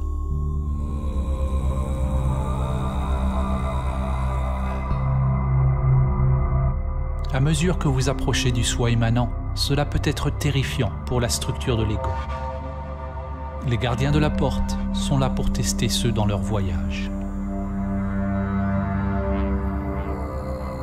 Il faut être prêt à faire face à ces plus grandes peurs et en même temps accepter notre pouvoir inhérent afin d'apporter la lumière aux terreurs inconscientes et à la beauté cachée à l'intérieur. si votre intellect n'est pas ému, s'il n'y a pas de réaction du soi, alors tous les phénomènes produits par l'inconscient surgissent et s'évanouissent. C'est le point dans le voyage spirituel où la foi est le plus nécessaire. Qu'entendons-nous par foi? La foi n'est pas la même chose que la croyance. La croyance, c'est accepter quelque chose au niveau de l'intellect pour apporter confort et assurance.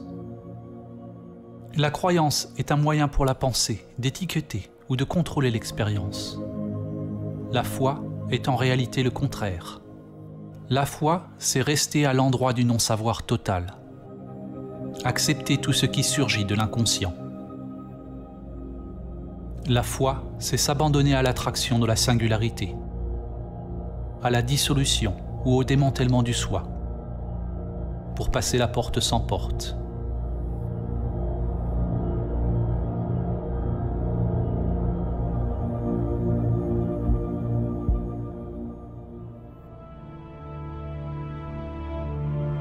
L'évolution et la structure d'une galaxie sont étroitement liées à l'échelle du trou noir en son centre, tout comme votre évolution est liée à la présence du soi immanent, la singularité, qui est votre vraie nature. Nous ne pouvons pas voir le trou noir, mais nous pouvons le connaître par la manière dont les choses se déplacent autour de celui-ci, par la façon dont il interagit avec la réalité physique. De même, nous ne pouvons pas voir notre vraie nature. Le moi émanant n'est pas une chose, mais nous pouvons observer une action illuminée. Comme le disait le maître zen Suzuki, il n'y a pas à proprement parler de gens illuminés. Il n'y a qu'une activité illuminée.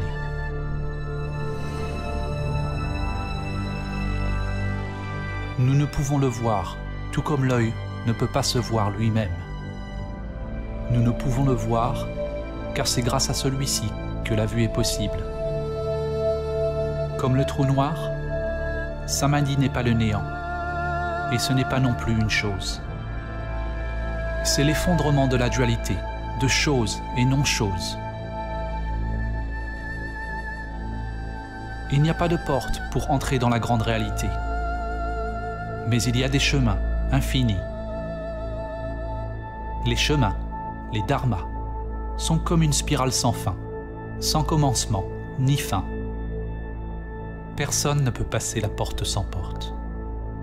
Personne n'a jamais compris comment, et personne ne le fera jamais. Personne ne peut passer la porte sans porte. Alors, soyez personne.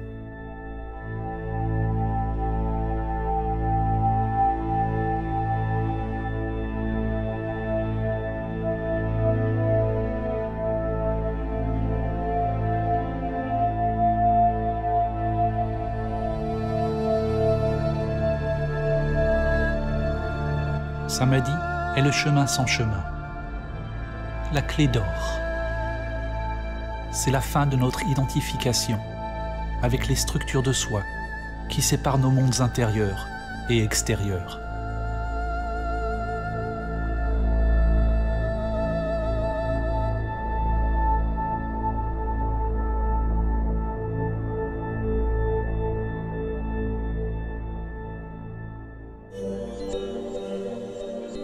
Il existe de nombreux modèles de développement qui décrivent les couches ou les niveaux de structure du soi.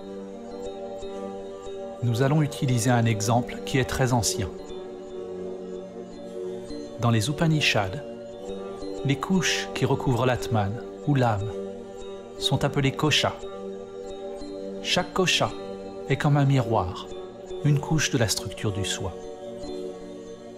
Un voile ou un niveau de maya nous détourne de la réalisation de notre vraie nature si nous sommes identifiés avec celle-ci. La plupart des gens voient les réflexions et croient que c'est ce qu'ils sont. Un miroir reflète la couche animale, le corps physique. Un autre miroir reflète votre mental, vos pensées, vos instincts et vos perceptions. Un autre votre énergie intérieure, ou prana, que vous pouvez observer lorsque vous vous tournez vers l'intérieur. Un autre miroir réfléchit sur le niveau de l'imaginal, qui est la couche du mental supérieur, ou de la sagesse. Et il y a des niveaux de béatitude transcendantale ou non duelle, ressentis à l'approche de Samadhi. Il y a potentiellement d'innombrables miroirs ou aspects de soi que l'on peut différencier et il change constamment.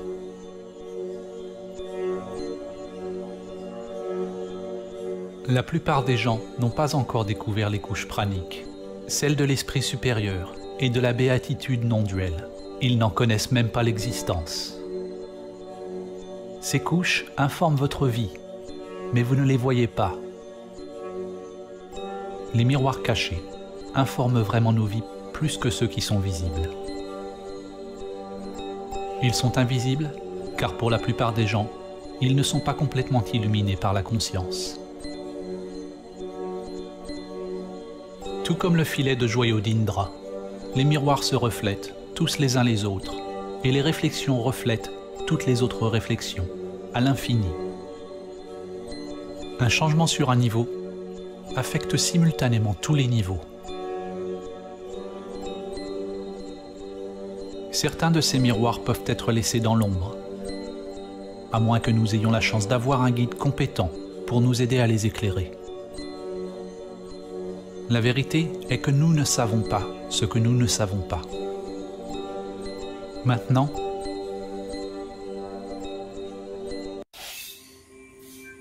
il n'y a rien qui vous rappelle à vous-même. Où êtes-vous? Quand l'intellect devient paisible, les miroirs cessent de refléter.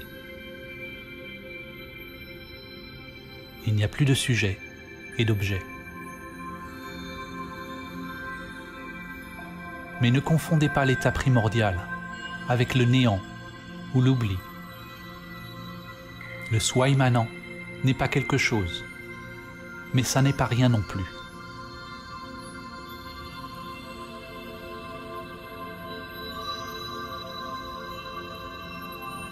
La source n'est pas une chose, c'est le vide ou le calme lui-même. C'est un vide qui est la source de toute chose. La forme est réalisée exactement comme le vide. Le vide est réalisé exactement comme la forme. Cette source est le grand ventre de la création enceint de toutes les possibilités.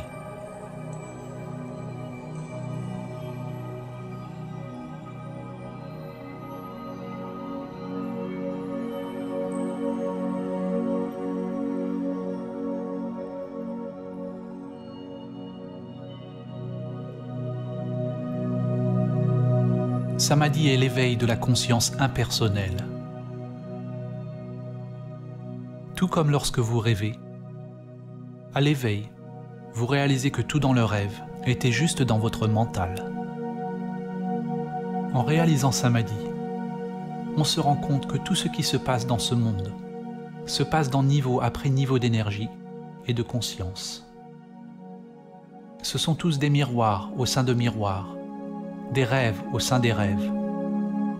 Le moi que vous pensez être est à la fois le rêve et le rêveur.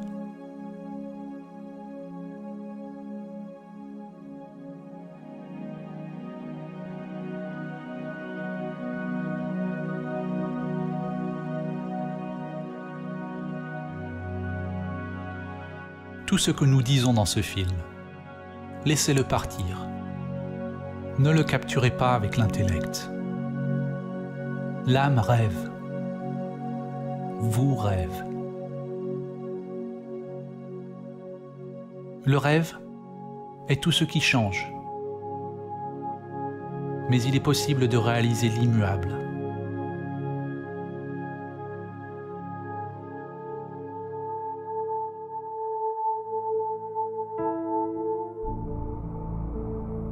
Cette réalisation ne peut pas être comprise avec l'intellect individuel limité.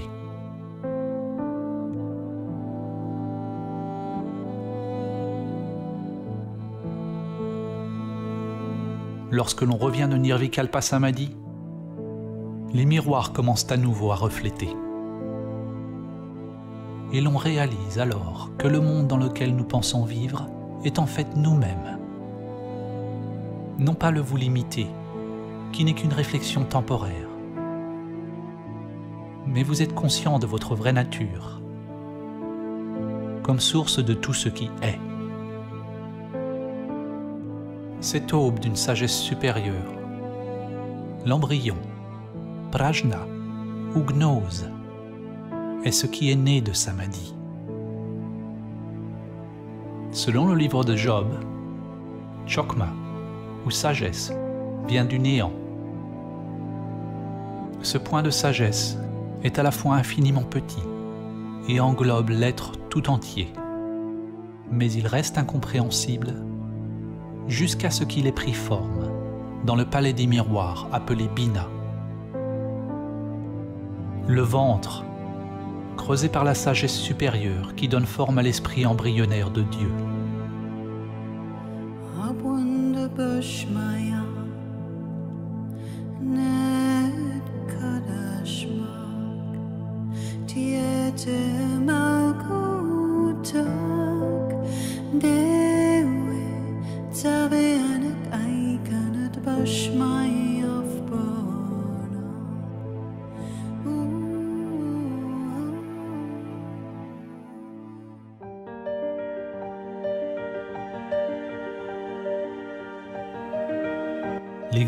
Des miroirs ou l'existence du mental n'est pas un problème.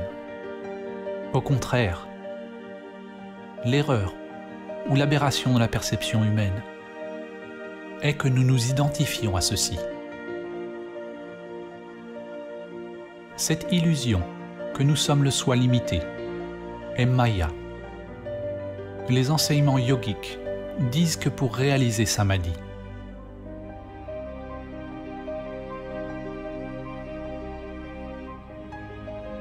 jusqu'à ce que vous disparaissiez en lui, ou lui en vous. Bien que le langage employé dans les diverses traditions soit dissemblable, à leur racine, tout indique une cessation de l'identification avec le soi et de l'activité centrée sur soi-même. Le Bouddha a toujours enseigné en termes négatifs.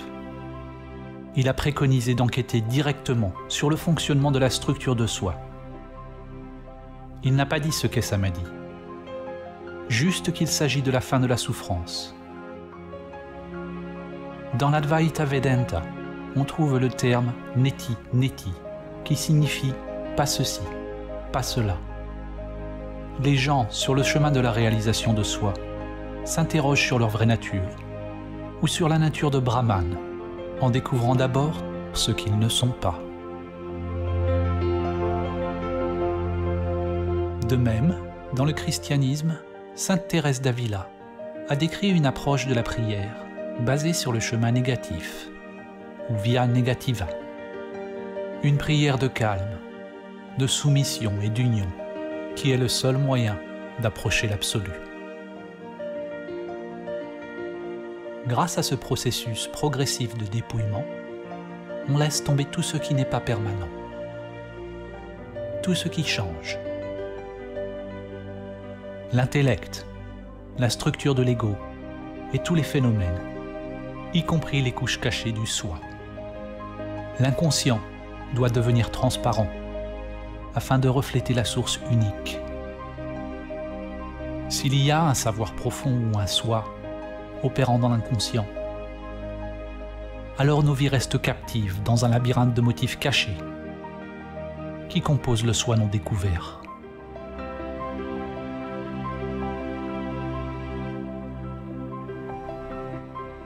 Quand toutes les couches de soi se révèlent vides, alors on devient libre du soi, libre de tout concept.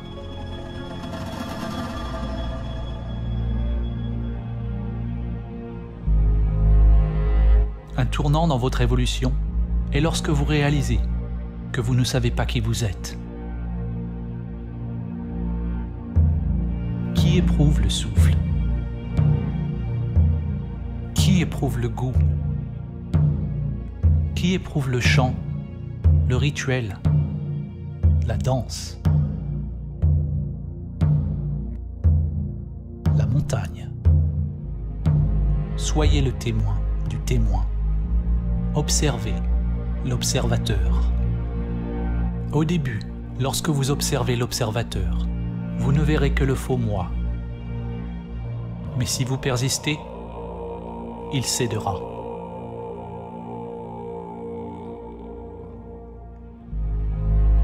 Enquérez-vous directement de ce qui perçoit, sans sourciller, perçant, pénétrant, avec toute la force de votre être.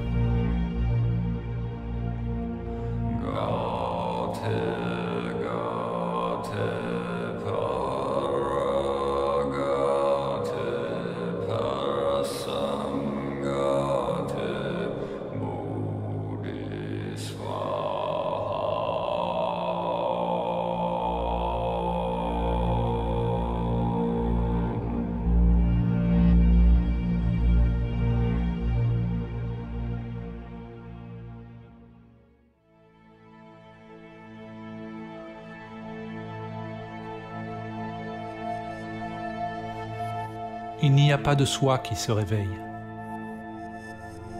Il n'y a pas de vous qui se réveille. Ce dont vous vous réveillez est l'illusion du moi séparé, d'un rêve d'un vous limité.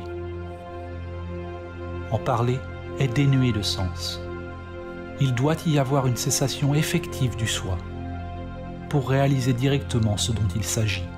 Et une fois réalisé, il n'y a rien qui puisse être dit à ce sujet. Dès que vous dites quelque chose, vous êtes de retour dans l'intellect. Et j'en ai déjà trop dit.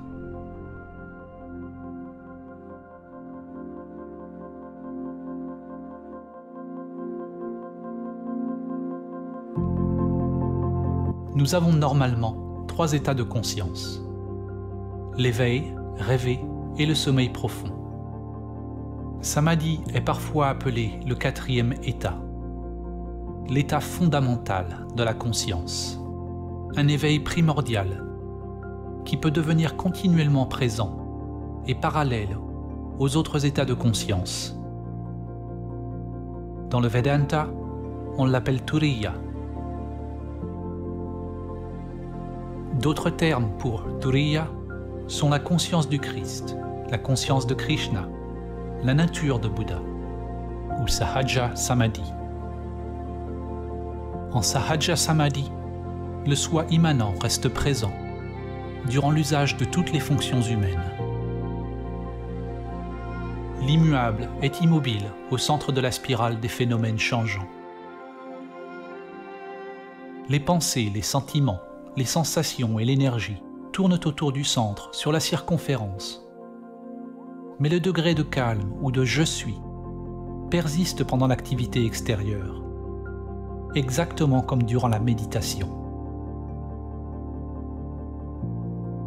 Il est possible que le soi immanent reste présent, même pendant le sommeil profond. Que votre conscience de je suis demeure sans va-et-vient même si les états de conscience changent.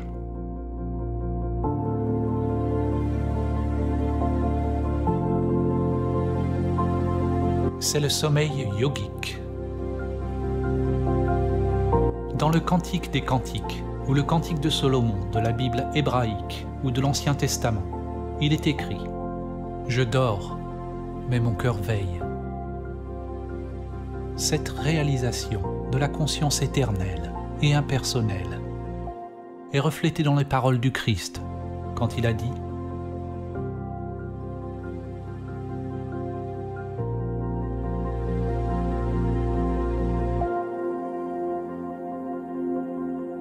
Une conscience qui brille au travers d'innombrables visages, d'innombrables formes.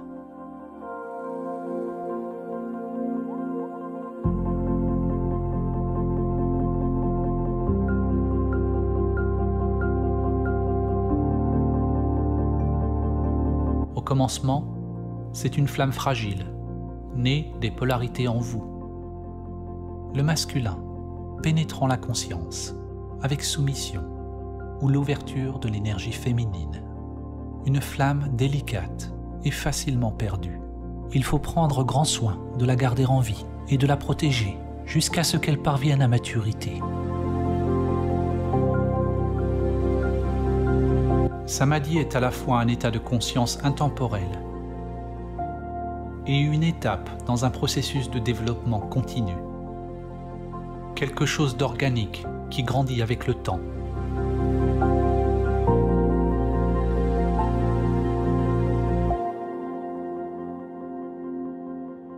À mesure que l'on passe de plus en plus de temps en samadhi, dans le présent, dans l'intemporel, on prend de plus en plus la guidance du cœur, de l'âme ou de l'atman, et moins de la structure conditionnée.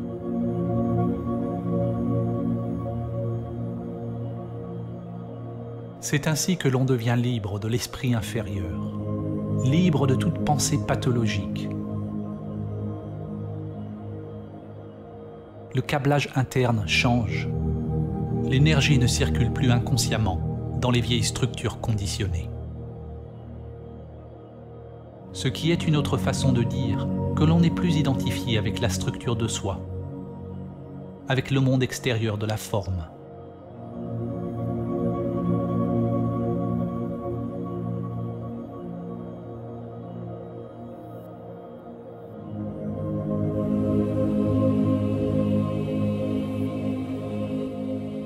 Réaliser Samadhi demande un effort si grand qu'il devient un abandon total de soi-même. Un abandon tellement englobant qu'il est un effort complet de notre être, de toute notre énergie. C'est un équilibre d'effort et de soumission, yin et yang, une sorte d'effort sans effort.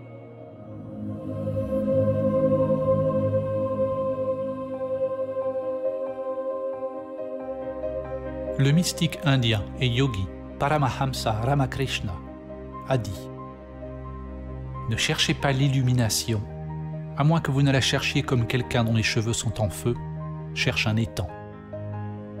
Vous le cherchez avec tout votre être. Au cours de la pratique de la transcendance de l'ego, il faut faire preuve de grand courage, de vigilance et de persévérance pour maintenir l'embryon en vie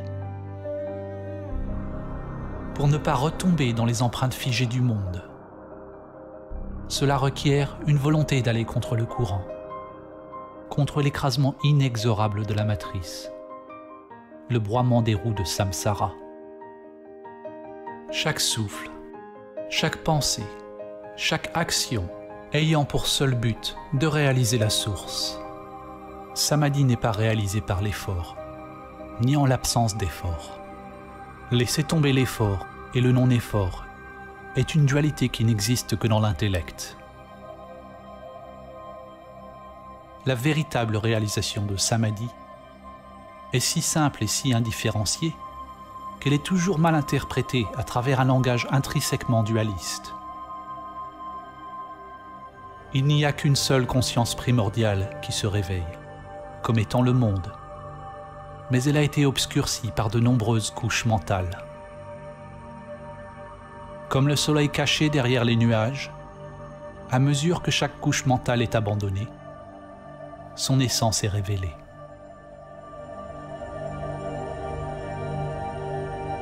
Alors que chaque couche mentale tombe, certains nomment samadhi différemment.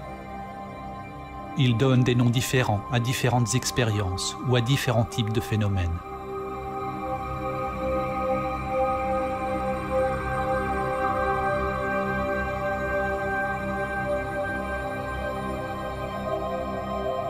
Mais Samadhi est si simple que lorsque l'on vous dit ce dont il s'agit et comment le réaliser, votre intellect le manquera toujours. En réalité, Samadhi n'est ni simple, ni compliqué. Seul l'intellect le voit ainsi. Lorsqu'il n'y a pas de pensée, il n'y a pas de problème, car la pensée est ce qui doit s'arrêter avant qu'il soit réalisé mais il ne s'agit pas du tout de quelque chose qui arrive.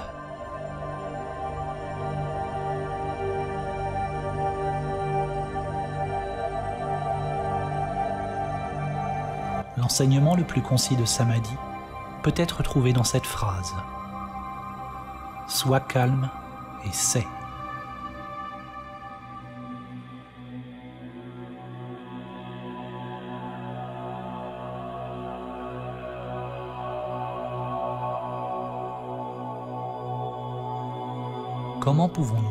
Utiliser mots et images pour transmettre le calme Comment pouvons-nous transmettre le silence en faisant du bruit? Plutôt que de parler de samadhi en tant que concept intellectuel. Ce film est un appel radical à l'inaction, un appel à la méditation, au silence intérieur et à la prière intérieure. Un appel à stopper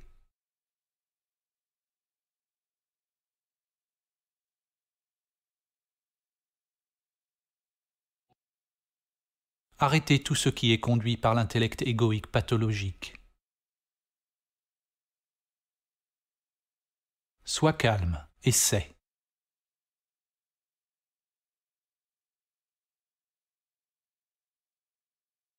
Personne ne peut vous dire ce qui émergera du calme. C'est un appel à l'action qui vient du cœur spirituel.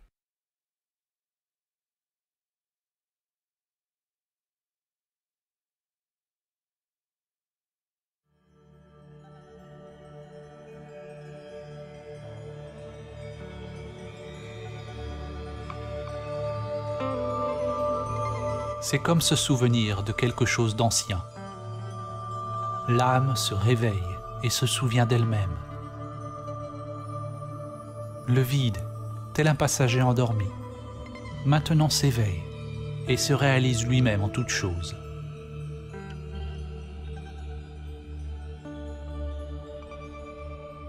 Vous ne pouvez pas imaginer ce qu'est Samadhi avec l'intellect égoïque limité, tout comme vous ne pouvez pas décrire à une personne aveugle ce qu'est la couleur. Votre intellect ne peut pas le connaître, il ne peut pas le fabriquer. Réaliser Samadhi, c'est voir d'une manière différente. Non pas voir des choses séparées, mais reconnaître celui qui voit.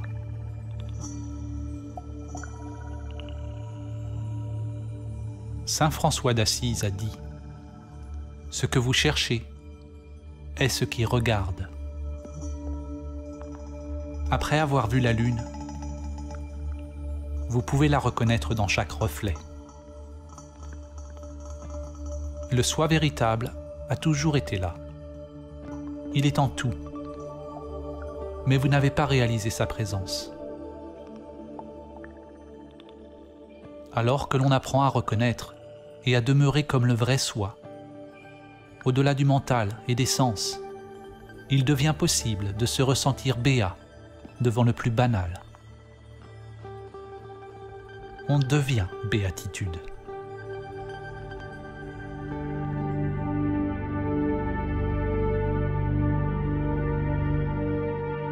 N'essayez pas d'être exempt de désir, car vouloir être exempt de désir est un désir vous ne pouvez pas tenter d'être immobile, car votre effort même est mouvement.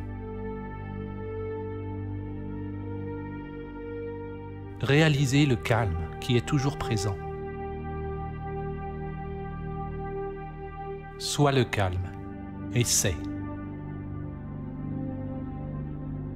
Lorsque toutes les préférences sont abandonnées, la source est révélée. Mais ne vous attachez pas, même à la source, la grande réalité, Tao, n'est pas un, pas deux. Ramana Maharshi a dit Le soi n'est qu'un. S'il est limité, c'est l'ego. S'il est illimité, il est infini et est la grande réalité.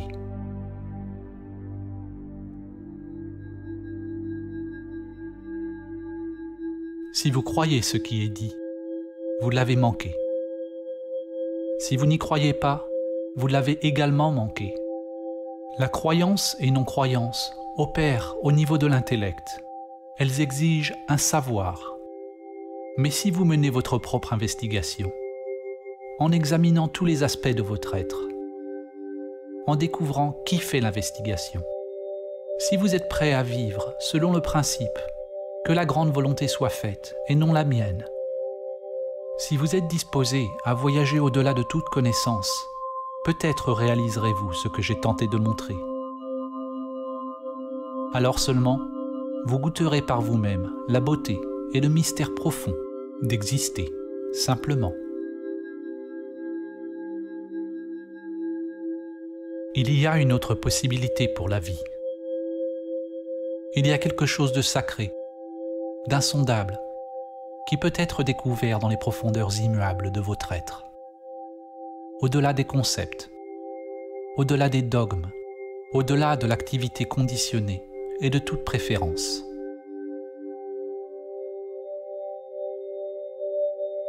On ne l'acquiert pas avec des techniques, des rituels ou des pratiques. Il n'y a pas de comment l'obtenir.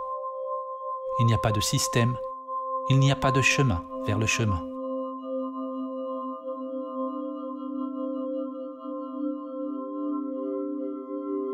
Comme on dit dans le zen, c'est la découverte de votre visage d'origine avant votre naissance. Il ne s'agit pas d'ajouter plus à vous-même. C'est devenir une lumière sur soi-même. Une lumière qui dissipe l'illusion de soi.